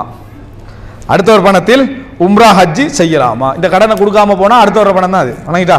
கடன் கடனை வந்து கையில் இருக்குது கொடுத்து கொடுக்காம நம்ம போனோம்னா ஒரு பணத்தில் கூட போய் ஹஜ் செஞ்சுட்டு வர மாதிரி. இந்த கேள்வி என்னன்னா ஒருத்தர் தாராரு உங்களுக்கு ஹஜ் தபர்றோம் நீங்கள் வந்து இதனால் ஹஜ் செய்யுங்க இதால் என்ன செய்யுங்க உம்ரா செய்யுங்கன்னு தாராரு இப்படி செய்யலாமான்னு கேட்டால் தாராளமாக என்ன செய்யலாம்? செய்யலாம் மார்க்க ரீதியாக தடை இல்லை. ஆனால் உங்களோட கடமையான ஹஜ்ஜு நிறைவேறுமா இல்லையாண்டா இல்லை. உங்களுக்கு ஒரு கடமையான ஹஜ்ஜுன்னா என்ன? இப்போ நீங்கள் பணக்கார ஆகிட்டோம்ல வசதி வந்து ஹஜ்ஜி போக வேண்டிய நிலைமை வருது. அந்த ஹஜ்ஜி இதில் என்ன செய்யாது? நிறைவேறாது. நீங்கள் கட்டாயம் திருப்பி இன்னொரு முறை என்ன செய்யணும்? ஹஜ்ஜு செய்ய வேண்டும். இதுதான் நீங்கள் பிரதானமாக புரிந்து கொள்ள வேண்டிய விஷயம். ஏன்? லிமனிஸ்தா இலகி சபீலா என்ற விஷயம் வந்து இன்னொருவர் கொடுத்து செய்கிறத குறிக்கலை. அவருடைய சொந்த முயற்சி என்ன செய்யுது குறிக்குது. அவருடைய மு- அதாவது அவருடைய வசதி அவருடைய முயற்சி அவருடைய பயணம் அதை குறிக்குது. அது இன்னொருத்தர் வந்து எல்லாத்தையும் லேசாக்கி உங்களை அனுப்பிக்கிறார். நீங்கள் ஹஜ் செஞ்சு முடிச்சு உங்களுக்கு அதன் கூலி உண்டு நன்மை உண்டு. அது இன்னும் உதாரணமாக சொல்கிறதாக இருந்தால் பத்து வயசு பிள்ளை உமா என்ன செய்கிறார் கூட்டிகிட்டு போய் ஹஜ்ஜு செய்கிறாரு இவர் நல்ல பெரிய பிசினஸ் பண்ணி இருபத்தஞ்சு வயசு நல்லா பணக்காரன் ஆயிட்டார். இவர் கட்டினா வேற ஹஜ் என்ன செய்யணும் சொன்னா உமா தான் அஞ்சு வயசுல கூட்டிட்டு போயிட்டா. திருப்பி எனக்கு ஹஜ் என்ன செய்யக்கூடாது? நினைக்க கூடாது அது வந்து அவருக்கு சுண்ணத்தான அமைப்புல என்ன இருந்த ஹஜ். அவருடைய கூலி பெற்றோருக்குரிய கூலி என்று ரசூல் ஸல்லல்லாஹு சொன்னாங்க. எனவே திருப்பி உங்களுக்கு வசதி என்று வருகிற நேரத்தில் அது உங்களுக்கு கடமையாக என்ன செய்து? மாறும். மற்றபடி இன்னொரு ஒரு தருகின்ற இதுல என்ன செய்யலாம்? ஹஜ் உம்ரா செய்வதில் தடை இல்லை. அதே நேரம் சொந்த பணத்துல ஹஜ் செய்ய உம்ரா செய்ய வாய்ப்பு இருந்து மற்றவர் தர பணத்தில் போகக்கூடாது. சொந்த பணத்தில் ஹஜ்ஜி போகிறதுக்கெல்லாம் வாய்ப்பு இருக்குது. ஓ யாரா ஒருத்தர் ஹஜ்ஜி பத்து பேர் நாங்கள் கொடுக்க போகிறோம்னா அவனோட நோக்கம் என்ன? வசதி இல்லாமனு கொடுக்குறது இவர் ஒரு லிஸ்ட்டில் ஒரு ஆளாக சேர்ந்து என்ன? நம்ம அப்பா அல்ஹம்துலில்லாஹ் கடமையை நிறைவேற்றாச்சு சல்லையும் பாதுகாத்தாச்சு. பணத்தையும் பாதுகாத்தாச்சு. என்னது? இந்த மாதிரி என்ன செய்யக்கூடாது? ஆகிடக்கூடாது அதுவும் தவறான ஒரு விஷயம். ஹைர். அடுத்தது.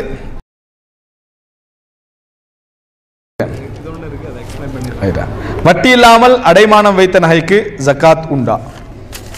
வட்டி இல்லாமல் ஒரு பொருளை கொண்டு போய் அடமானம் வச்சுட்டாச்சு. வச்சு நம்ம ஒரு பயன்பட்டுட்டோம் இதுக்கு ஜக்காத் உண்டான்னு கேட்டால் நிச்சயமாக ஜக்காத் அதுக்கு உண்டு. அது உங்களோட பொருள் தான். அதுக்கு தான் அடமானம் வச்சுக்கிறீங்க. விளங்கிட்டா? அதில் ஜக்காத் உண்டு. அதில் சந்தேகம் கிடையாது. கட்டாயம் ஜக்காத்து கொடுக்கணும். மீட்டலாமா மீட்ட முடியாத? அந்த டைமில் உங்களுக்கு கொடுக்க இயலாது. இது ரெண்டாவது பிரச்சனை. உதாரணமாக ஒரு இருபது பவுன் நகை என்ன செஞ்சுக்கிறாங்க? அடமானம் வச்சுக்கிறாங்க. ஏன்னா எல்லாரும் ரெண்டாவது பிரச்சனை தான் ஃபர்ஸ்ட் பிரச்சனையாக யோசிப்பாங்க. முதல்ல இருக்கா இல்லையான்னு யோசிக்கணும். எப்போ நீங்கள் இந்த செத்த ஆட்டை சாப்பிடலாமா இல்லையான்னு கேட்டால் நீங்கள் என்ன சொல்லணும்? நிர்பந்தத்தில் சாப்பிடலாம். இது சொல்லக்கூடாது. இது ரெண்டாவது. இது என்ன? ரெண்டாவது. செத்தாடு சாப்பிடலாமா சாப்பிடக்கூடாதா கூடாது. தான் ஃபர்ஸ்ட் பதில். நிர்பந்தம் ஒருத்தருடைய சுச்சுவேஷன் அதே மாதிரி அடமானம் வச்ச பொருள் ஜக்காத்து உண்டான ஜக்காத்து உண்டு. ஆனால் ஒரு சிலருக்கு இரு இருபது பவுன் அடமானம் வச்சிருப்பாங்க. வட்டி இல்லாத நிலைமை அடமானம் வச்சிருப்பாங்க.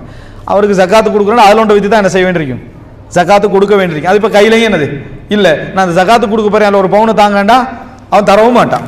இப்படியா இருக்கக்கூடிய நிலைமையாக இருந்தால் அவர் எப்போ கிடைக்கிறாரோ அப்போ கணக்கிட்டு என்ன செய்யலாம்? ஜக்காத்து கொடுக்கலாம். அவர் குற்றவாளி அல்ல. இது அந்தந்த சுச்சுவேஷனுக்குள்ள ஒரு விஷயம். அடுத்ததாக அந்த வர அதாவது ஒரு மூணு வருஷம் அடமானம் இருந்தீங்கன்னா மூணு வருஷத்துக்குரிய ஜக்காத்தை அவர் என்ன செய்யணும்? கணக்கிட்டு பின்னால அவர் கொடுக்க வேண்டும். அதாவது மூணு வருடம் அடைமானம் இருந்தீங்க மூணு வருடம் யாரை பொருள் அது? இந்த நபருடைய அவருக்கு அனுபவிக்க முடியாமல் போற வேலையை யார் செஞ்சது? அவரே செஞ்சுக்கிட்டது விளங்கிட்டா? அவரே செஞ்சு அவரே போட்டுக்கிட்டது இது இன்னும் சேவிங்கில் போடுவாங்களா? இப்போ உங்கள் பிள்ளைகளுடைய எதிர்காலம் உங்கள் கையில் தான் அப்படின்னு சொல்லி என்ன ஒரு பதினெட்டு வருஷத்துக்கு என்ன பணத்தை எடுத்து அப்படியே திருப்பி நீ எடுக்கவே இல்லான்னு போட்டுருவாங்க. இதுக்கு நீங்கள் கட்டாயம் என்ன செய்யணும்? ஜகாத்து கொடுத்தே ஆகும் லொக் பண்ணிக்கிறது யாரு? நீங்கள் தான் வாங்கிட்டு அதை வட்டி வருதா இல்லையான்றா நீங்கள் தான் அதை என்ன செஞ்சீங்க? இருக்க இறுக்கி விட்டீங்க. எனவே அதுக்குரிய ஜகாத்தை நீங்கள் என்ன செய்யணும்? கொடுத்து தான் ஆக வேண்டும். ரைட் அடுத்தது ஜமாத்து இரவு தொழுகை தொழுதுவிட்டு பிறகு வீட்டில் கடைசி இரவில் அதாவது இரவில் பதினோரு ரகா தொழுதாச்சு. வீட்டுக்கு போயிட்டோம் தூங்கி எழும்புறோம். பதினோரு ரகாத்துக்கு மேலே ரசூல் நான் தொழலைன்னு சொல்கிறோம் இப்போ தான் தூங்கி எழும்பிட்டோம். இப்போ என்ன செய்யறது அதான் கேள்வி. இந்த விஷயத்தை பொறுத்த வரைக்கும் ரசூல் சல்லாஹ் சுன்னால ஏதாவது இருக்கான்னு நம்ம பார்க்குறோம். பார்த்தா ரசூலுல்லாஹி சல்லா அலைஹி அவர்கள் வித்திற்கு பின்னால் இரண்டு ரகா தொழுதிக்கிறாங்க. இதற்கு பின்னால இரண்டு ரக்காத்துகள் தொழுததாக இப்னு ஹுசைமா போன்ற கிரந்தங்கள் என்ன செய்து வருது. அப்போ இந்த இரண்டு ரக்காத் ஒன்றில் தஹியத்துல் மசிதா பள்ளியில் தொழுதிருக்கலாம் அல்லது வீட்டில் ரசூல் ஸல்லல்லாஹு உதவுடைய சுண்ணத்தாக என்ன செஞ்சிருக்கலாம் தொழுதிருக்கலாம் அல்லது பிரத்யேகமாக இதற்கு பின்னால் ஒருத்தர் எழுப்பினார்னு அவருக்குரிய சுண்ணத்தாக வழிகாட்டுதலாக ரசூலாங்க என்ன செஞ்சிருக்கலாம் செய்திருக்கலாம். அல்லாஹுவாலம் அப்போ இந்த ரெண்டு ரக்காத் என்ன செய்யலாம்? நம்ம தொழுது கொள்ளலாம். அதை நம்ம நீட்டமாக அழகாக என்ன செய்யலாம்? தாராளமாக தொழுது கொள்ளலாம். ஆனால் திருப்பி வித்திரு தொழக்கூடாது. ஏன்னா ரசூல்லாங்க சொன்னாங்க லா வித்ரானி ஃபீல் ஒரு இரவுல ரெண்டு வித்திரில் என்னாங்க? ஒரு இரவில் இரண்டு வித்திரு கிடையாது என்று ரசூலுல்லாஹி ஸல்லல்லாஹு அலுவலம் சொன்னார் என்று செய்தி வருது. எனவே திருப்பி வித்திரு என்ன செய்யக்கூடாது? தொலை கூடாது. அடுத்ததாக ஜம்மு காஷ்மீர் சம்பந்தமான கேள்வி என்னன்னா அந்த கேள்வி விளங்கப்படுத்தினது எனக்கு என்ன இதில் விளங்கல. அதாவது நாங்கள் வந்து இப்போ இப்போ இஸ்லாமிய நிகழ்ச்சி நடத்துகிறோம் முதலாவது பிரதானமான கேள்வி அதுதான். இஸ்லாமிய நிகழ்ச்சி ஒன்று என்ன செய்கிறோம் நடத்துகிறோம் நடத்துகிற டைமில் இஷாவுக்கு அதான் சொல்லுது. இப்போ இது பள்ளியிலன்னா நம்ம டைமுக்கு தொழுதுருவோம். வேறு ஒரு பெரிய திடல் வேற எங்கேயோ நிகழ்ச்சி நடத்துகிறோம் அதான் சொல்லுது. அதான் சொன்னால் நாங்கள் என்ன சொல்கிறோம்னு சொன்னால் கொஞ்சம் லேட்டாக தொழுதுக்கிறோம். பத்து மணி இந்த நிகழ்ச்சி முடியும் வரைக்கும் காத்திருக்கவும் அப்படின்னு நம்ம என்ன செய்கிறோம் சொல்கிறோம் இப்படி சொல்கிற நேரத்தில் சிலருக்கு ஒரு சந்தேகம் இருக்கு. மார்க்க நிகழ்ச்சியில் தொழுங்க தொழுங்கன்னு சொல்கிறீங்க அதில் பார்த்து தொழுகை என்ன செய்றீங்க? பிற்படுத்துறீங்களே என்ற ஒரு கேள்வி இருக்குது. இப்போ இதில் அதாவது இஷா தொழுகை இது ஒவ்வொரு தொழுகைக்கும் ஒரு டிஃப்ரெண்ட் இருக்குது. சுபகுக்கு பயான் நடக்குது உதாரணமாக சுபகை நம்ம கொஞ்சம் நேரத்தில் பிந்தி தொழுது கொள்ளணும்னு சொன்னால் நீங்கள் என்ன செய்யலாம்? சுபோ பிந்தினா தொழுகை இல்லைன்னு என்னது? ஆகிரும் என்று நம்ம சொல்லலாம். சில இஷாவை பொறுத்த வரைக்கும் ரசூலுல்லாய் ஸல்லல்லாஹு ஒரு முறை பிந்தி வாராங்க. மக்கள் எல்லாம் தூங்கி பெண்கள் எல்லாம் தூங்கி சிறுவர்கள்லாம் தூங்கின பிறகு ரசூலாங்க வாராங்க. வந்துட்டு சொல்கிறாங்க என் உம்மத்துக்கு கஷ்டம் இல்லைன்றா இதுதான் நல்ல சிறந்த நேரம் தொழுகிறதுக்கு நான். சிறந்த நேரம் எது? நல்ல ஒரு பத்து பதினோரு மணிக்கு இஷா தொழுகிறது தான் என்ற உம்மத்துக்கு கஷ்டம் இல்லை என்றால் சிறந்த நேரம் அப்படி என்று ரசூலுல்லாஹி ஸல்லல்லாஹு அலைஹி சொன்னாங்க. என் உம்மத்துக்கு கஷ்டம் என்று ரசூலாம் சொல்கிறாங்க ஏன்? நம்ம வந்து போய் ஒரு ஒம்பது பத்து மணிக்கு தொழுகிறோன்னு சொன்னால் அது வந்து சைத்தா அப்போ ஃபுல் போராட்டத்தில் இருக்கக்கூடிய டைம் அப்போ அதனால பெரிய பார். அதை என் உம்மத்துக்கு கஷ்டம் என்பதனால நான் இந்த டைமில் தொலை வரலன்னாங்க. அப்போ ரசூலாங்க இதில் ஒரு வழி காட்டுறாங்கன்னா இஷாவை ஜமாத்து கிடைக்கும் என்றால் பிற்படுத்துவது சிறந்தது என்று சொல்கிறாங்க இதில். தனியாக இல்லை ஜமாத் ஒன்று கிடைக்குமாக இருந்தால் பிற்படுத்துவது சிறந்த என்று சொல்லாங்க சொல்கிறாங்க எனவே பெரிய பெருந்திரளான மக்கள் இருக்கிற டைமில் ஒரு ஆயிரம் பேர் ஐநூறு பேர் என்ன செய்கிறோம் நம்ம இருக்கக்கூடிய நேரத்தில் நம்ம எல்லாரும் அந்த நேரத்தில் ஒன்பது பத்து மணிக்கு நம்ம தொழுவோம் என்று இருந்தால் தாராளமாக என்ன செய்யலாம்? பிற்படுத்தலாம். அதில் எந்த விதமான தடையும் இல்லை. ஒன்று. இரண்டாவது விஷயம் நம்ம முற்படுத்துகிற சப்ஜெக்ட் சிலது இருக்குது மகரிபோட இஷாவை என்ன செய்யறது? முற்படுத்தி நிகழ்ச்சி நடந்துட்டு இருக்கும். பிரயாணிகள்லாம் சேர்ந்து தொழுங்கன்னு சொல்கிறது இப்போ அந்த பிரயாணி ரெண்டு விஷயத்தை என்ன செய்யணும்? கவனத்தில் கொள்ளணும். நீங்க அதே ப்ரோக்ராமில் இருக்க போறீங்க அதே இஷால கலந்து கொள்ள போறீங்க எல்லாரும் இருக்கிற டைம்ல தான் நீங்க இருக்க போறீங்க அங்கதான் சாப்பிட போறீங்கன்னா நீங்க ஜம்மு செய்யக்கூடாது. அதான் உட்காந்து எல்லா வேலையும் அங்கே தானே செய்ய போறீங்க? நீங்க ஜம்மு செய்யக்கூடாது. ஜம்மை பொறுத்த வரைக்கும் நியாயமான ரீசன் இருந்தால் மட்டும்தான் ஜம்மு செய்யணும். அது ஊரில் இருந்தாலும் ஜம்மு செய்யலாம் பிரயாணத்தில் ஜம்மு செய்யலாம். நியாயமான காரணம் ஒன்று இருந்தால் மட்டும்தான் ஜம்மு செய்ய வேண்டும். அப்படி இல்லை என்றால் ஜம்மு செய்யக்கூடாது. அப்போ அதே அதே இடத்துல நம்ம இருக்க போகிறோம் அதே பிரயாணம் கேட்க போகிறோம் எங்கேயும் நம்ம போகலை என்றால் நம்ம உரிய நேரத்தில் எல்லோரும் சேர்ந்து தான் என்ன செய்யணும்? அங்கே தொழணுமே தவிர அங்கே கசராக ஜம்மாக என்ன செய்யக்கூடாது? தொழக்கூடாது. அதே நேரம் சிலர் முட்டிச்ச உடனே நம்ம போயிடும் அங்கே நிற்கிறதுக்கெல்லாம் நமக்கு வாய்ப்பில்லை என்கின்ற ஒரு சுச்சுவேஷன் இருந்தால் அவர்கள் என்ன செய்யலாம்? ஜம்மு செய்து கொள்ளலாம். எல்லாம் தேவை நிமித்தத்தோடு சம்பந்தப்பட்ட ஒரு செய்தி. கயிறு ஆண்கள் ஏதாவது கேள்வி இருந்தால் கேளு. கேளு. ஹராமுடைய நிலையில் பெண்கள் வந்து முகத்தை முறைக்கலாமா இஹ்ராமுடைய நிலையில் ரசூலுல்லாஹி ஸல்லல்லாஹு அலைஹி வஸல்லம் லா தன் தக்கிபனா பெண்கள் முகத்தை என்ன செய்யக்கூடாது? மறைக்க கூடாது அப்படின்னு சொன்னாங்க. ஆனால் அல்லாஹு அலம் இன்றைக்கு நம்ம என்னது அரபு நாடுகளை பார்க்குறோம் இப்படி என்ன செய்றாங்க அந்த கவரை பண்ணி இப்படி என்ன செய்றாங்க போட்டு போறாங்க. இதுக்கு மார்க்க ரீதியான எந்த விதமான அடிப்படையும் இல்லை. பெண்கள் இஹ்ராமுடைய நிலையில் முகத்தை மறைக்க கூடாது என்றது ரசூலுல்லாஹி ஸல்லல்லாஹு அலைஹி வஸல்லமுடைய செய்தி. அதை இந்த அமைப்பில் புரிந்து கொள்வதற்கு இந்த அடிப்படையில் அவங்க புரிஞ்சு கொள்றாங்களோ தெரியல. ஆனால் செய்தி லா த- இன்திகாப ரசூலுல்லாஹி ஸல்லல்லாஹு அலைஹி வஸல்லம் அவர்கள் தடுத்து வந்திருக்குது. அதனால பெண்கள் அதாவது இஹ்ராமுடைய நிலையில் முகத்தை மறைக்க கூடாது. அவர்கள் அதை தவிர்த்து கொள்ள வேண்டும்.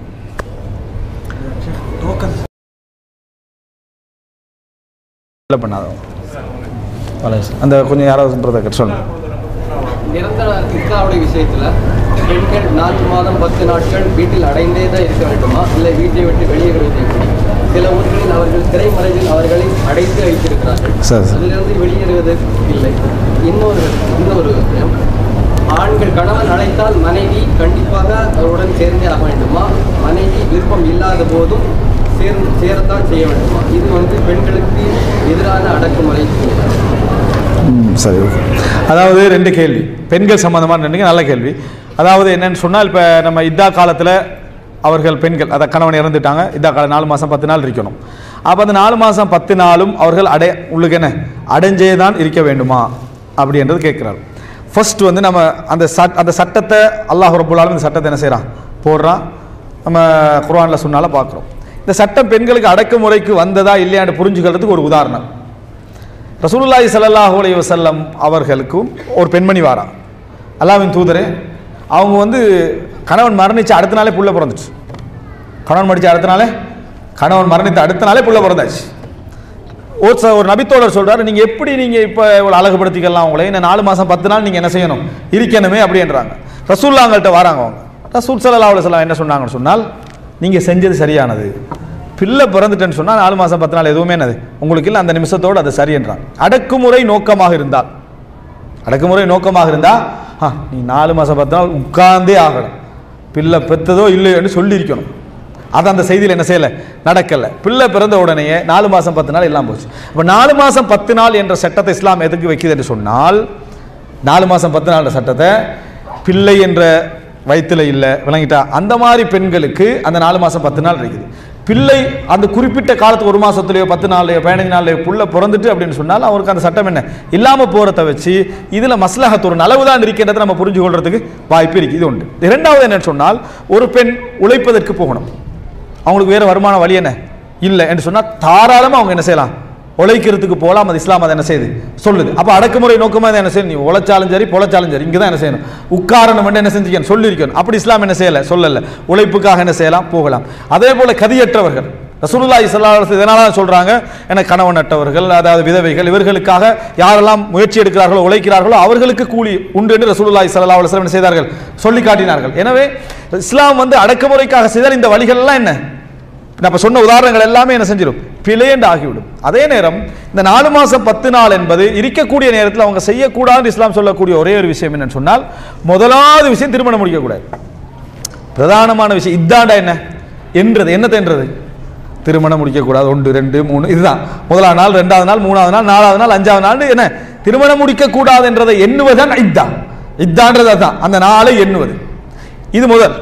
இரண்டாவது என்ன? திருமணம் முடிக்கக்கூடாதுண்டா திருமணம் முடிக்கிறத தூண்டமைப்பிலான அலங்கார ஆடைகள் என்ன செய்யக்கூடாது? போடக்கூடாது. அது மாதிரியான நகைகள் என்ன செய்யக்கூடாது? அதான் அலங்காரத்துக்கான விஷயங்களை போடக்கூடாது. இதுதான் சட்டமே தவிர வேறு என்ன சட்டம் இருக்குது? மற்றதெல்லாம் நாங்கள் ஏற்படுத்திக்கின்றது.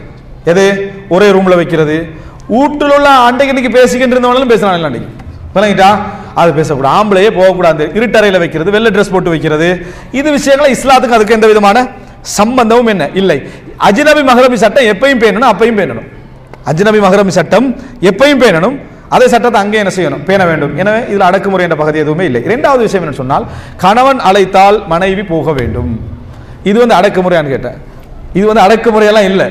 அந்த கணவனை தொடர்ந்து பாதுகாக்கணும் இதான் வழி. முதலாவது புரிஞ்சுக்கொள்ளணும். இந்த விஷயத்தை ஒரு பெண்ணுடைய இடத்துலேருந்து நீங்கள் எடுங்க. எப்படி? ஒரு பெண்ணுடைய இடத்துலேருந்து. இந்த பெண் வந்து இந்த கணவன் காலாகாலத்துக்கு என்னோட இருக்கணும்னு ஆசைப்படுறாவா? எக்கேடு கெட்டு போனால் பரவாயில்ல நினைக்கிறவான்னு கேட்டால் எந்த பெண்ணும் அப்படி இல்லை. முத்து ஒழுக்கமான எந்த பெண்களும் கணவன் என்னோட தான் இருக்கணும். என்னை மட்டும்தான் பார்க்கணும். என்ன மட்டும்தான் ஆசை வைக்கணும். வேற எங்கேயும் போகக்கூடாது சாடமாடையை பார்த்தா கூட சச்சரவாக்குவோம். விளங்கிட்டா? என்ற எல்லா நிபந்தனைகளோடு யார் இருக்கிறாங்க? பெண்கள் இருக்கிறாங்க. பெண்கள் அந்த உணர்வோடு இருக்கிறாங்க. ஏன் அடுத்த மனைவியை ரசூல் ஸல்லல்லாஹு அலைஹி வசல்லாம் அவர்கள் இரவுல போயிடுவாங்களோன்னு ஆயிஷாலாம் கோச்சுக்கல இல்லையா? சண்டை பிடிக்கலையா? இது பெண்களுடைய அந்த உரிமை உணர்வு. இந்த உரிமை உணர்வை ஒரு பெண் தக்க வைத்துக்கொள்ள சிறந்த வழியே என்ன தெரியுமா? கணவன் அழைக்கிற நேரத்தில் அதாவது தேவைக்காக கணவன் அழைக்கிற நேரத்தில் அந்த பெண் பதில் சொல்வது என்பதுதான். ஆனால் இதில் இப்படி கேட்கலாம். ஒரு பெண் நோயாகிறார் ஒரு பெண் நோயாளியாகிறார் ஒரு பெண் உடல்நிலை சரியில்லாமல் இருக்கிறார். அதாவது நோய் இல்லை அசோர்வாக இருக்கிறார். அல்லது ஒரு பெண் பிள்ளைகளோடு மற்ற மற்ற வேலைகள் அப்படி ஈடுபட்டு அவங்க- அவங்களால அதாவது எந்த விதமான கவனம் செலுத்த முடியலை. இந்த நேரத்தில் ஒரு கணவன் அழைக்கிறாருண்டா கல்யாணம் பேசக்குள்ள அதை யோசிச்சிருக்கிறோம். இந்த சப்ஜெக்ட் வேறு. இது அதல்ல. இந்த பிரச்சனை எதோட சம்பந்தப்பட்ட தெரியுமா? சீதனம் வாங்குறதோட அடிக்கிறதோட பொருளாதாரத்தோட ஒழுக்கங்கெட்ட வாழ்க்கையோட மார்க்கமில்லாத கணவனோட அதோட சம்பந்தப்பட்ட விஷயம். இது சட்டத்தோட சம்பந்தப்பட்ட பிரச்சனை அல்ல. மனைவியுடைய உணர்வை மதிக்காம ஒரு கணவன் நடக்கிறான்னு வைங்களேன். இது எதோட சம்பந்தப்பட்ட பிரச்சனை? இந்த சட்டத்தோட சம்பந்தப்பட்ட பிரச்சனை அது? அது இந்த சட்டத்தோடு சம்பந்தப்பட்ட பிரச்சனை இல்லை. ஒரு கணவன் மனைவி அழைப்பதே இல்லை. நீ விரும்பின டைமுக்கு வான்னு சொல்றாரு. இப்போ இவர் நல்ல கணவரா? இவர் நல்ல கணவர் என்று சொல்லிடுமா மத்த மத்த பிரச்சனை இருக்குதே. அந்த பிரச்சனைகளோடு இதுவும் சம்பந்தப்படுது. எது? நீ நோயா இருந்தாலும் சரி என்ன நிலைமையா இருந்தாலும் சரி வந்து தான் ஆகணும்னு ஹதீஸ் சொன்னு சொன்னா அது பிள்ளை அப்படி ஹதீஸ் சொல்லவும் இல்லை. இந்த மாதிரி நினைச்சால் அது அந்த கணவனை செலக்ட் பண்றதுக்குள்ள உள்ள விஷயம். மார்க்கம் உள்ள பண்புள்ள கனிமா ஹசனுல் பசரி ரஹமது அழகா சொன்னார்கள். மார்க்கமுள்ள கணவனை உங்கள் மகளுக்கு தேடி கொடுங்கள். அவன் பிரயோசனம் அளிக்காது விட்டாலும் தீங்கு செய்ய மாட்டான். அவன் பிரயோசனம் அளிக்காட்டி என்ன செய்ய மாட்டான்?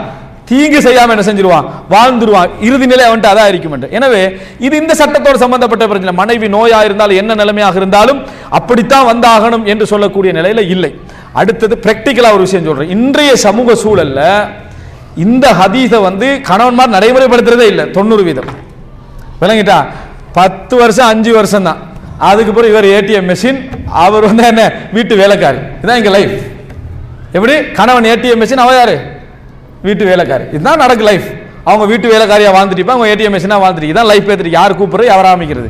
அப்படி என்கின்ற சுச்சுவேஷன் இங்கே போய்கிட்டு இருக்குது ஹதீஸ் அடிப்படையில் நீங்கள் விளக்கத்தை எடுத்துக்கொண்டீர்கள் என்று சொன்னீர்கள் சொன்னால் இந்த ஹதீஸ் மனைவியை அடிமைப்படுத்துவதோ கொடுமைப்படுத்துறதோடு சம்பந்தப்பட்டதல்ல. ஒரு மனைவியை கணவன் அழைத்தால் கட்டாயம் போகணும் என்று மார்க்க கடமையாக்கி இருக்கிற அந்த பெண்ணுக்கும் பாதுகாப்பு அந்த ஆணுக்கும் என்ன?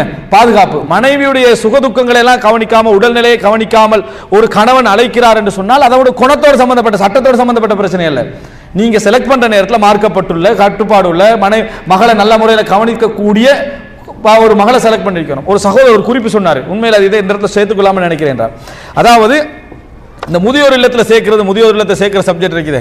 இதை பற்றி சொல்கிற நேரத்தில் ஒரு சகோதரர் சொன்னார் இதுக்கு முதல் காரணம் அந்த முதியோர்கள் தாண்டார் ஒரு முக்கியமான குறிப்பு சொன்னார். ஏன்? அதாவது மனைவியாக எடுக்கிற நேரத்தில் தன்னை தன்னை மகனுக்கு மனைவி எடுக்கிற நேரத்தில் அவன் எப்படிப்பட்ட மக மனைவியாக இருக்கணும்னு பார்க்கறது இல்லையா நல்ல நகையோட வாராளா இல்லையா? விளங்கிட்டா? அப்படி நகலொரி மாதிரி வந்து சேரணும். அது மாதிரி சொத்து சுகம் இருக்குதா இல்லையா? அது இருக்குதா இல்லையா? இதெல்லாத்தையும் பார்த்து என்ன செய்யறது கல்யாணத்தை முடித்து வச்சிடுறது. அப்புறம் மன மருமகள் முதியோர் இல்லத்துக்கு அனுப்பிட்டான் நீ தான் செலக்ட் பண்ண. முதியோர் இல்லத்துக்கு அனுப்புகிற ஆளை யார் செலக்ட் பண்ணுறது நீ தான் செலக்ட் பண்ண. கொஞ்ச நேரம் அந்த மகனுடைய தியாகத்தில் விட்டுருந்தா கூட அவன் என்ன செஞ்சிருப்பான்? ஒரு நல்ல மார்க்கப்பட்டுள்ள பிள்ளைய சீதனம் இல்லாமல் முடிக்க போறேன்டா முடிச்சிருப்பான். அதெல்லாம் சரி வராது நான் சொல்றதா நீ கேட்கணும். பெற்றோர்கள் கட்டுப்பட்டது கடமை என்று சொல்லி சீதனத்தை அது இதெல்லாம் கொண்டு வந்து போட்டு முடிச்சுட்டு பத்து வருஷத்தில் அவள் தான் அனுப்பி வைக்கிறாள் போயிட்டு வாங்கன்னு சொல்லி. இப்படி சில குடும்பங்கள் என்ன செஞ்சிருக்குது? நடந்திருக்குது அப்படி. எல்லா குடும்பத்திலையும் அப்படி இல்லாது விட்டாலும் இப்படியும் நடக்குதுன்றாங்க. எனவே இது நான் விரிவாக சொல்றதுக்கான காரணம் சட்டத்தோடு சம்பந்தப்பட்ட பிரச்சனை அல்ல. நம்ம செலக்ட் பண்ற ஆளோடு சம்பந்தப்பட்ட பிரச்சனை என்பதை நாங்கள் புரிந்து கொள்ள வேண்டும். இதுல எந்த கொடுமையும் என்ன கிடையாது. ஹைர்.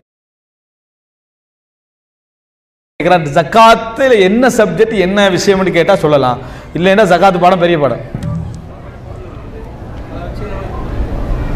இல்லை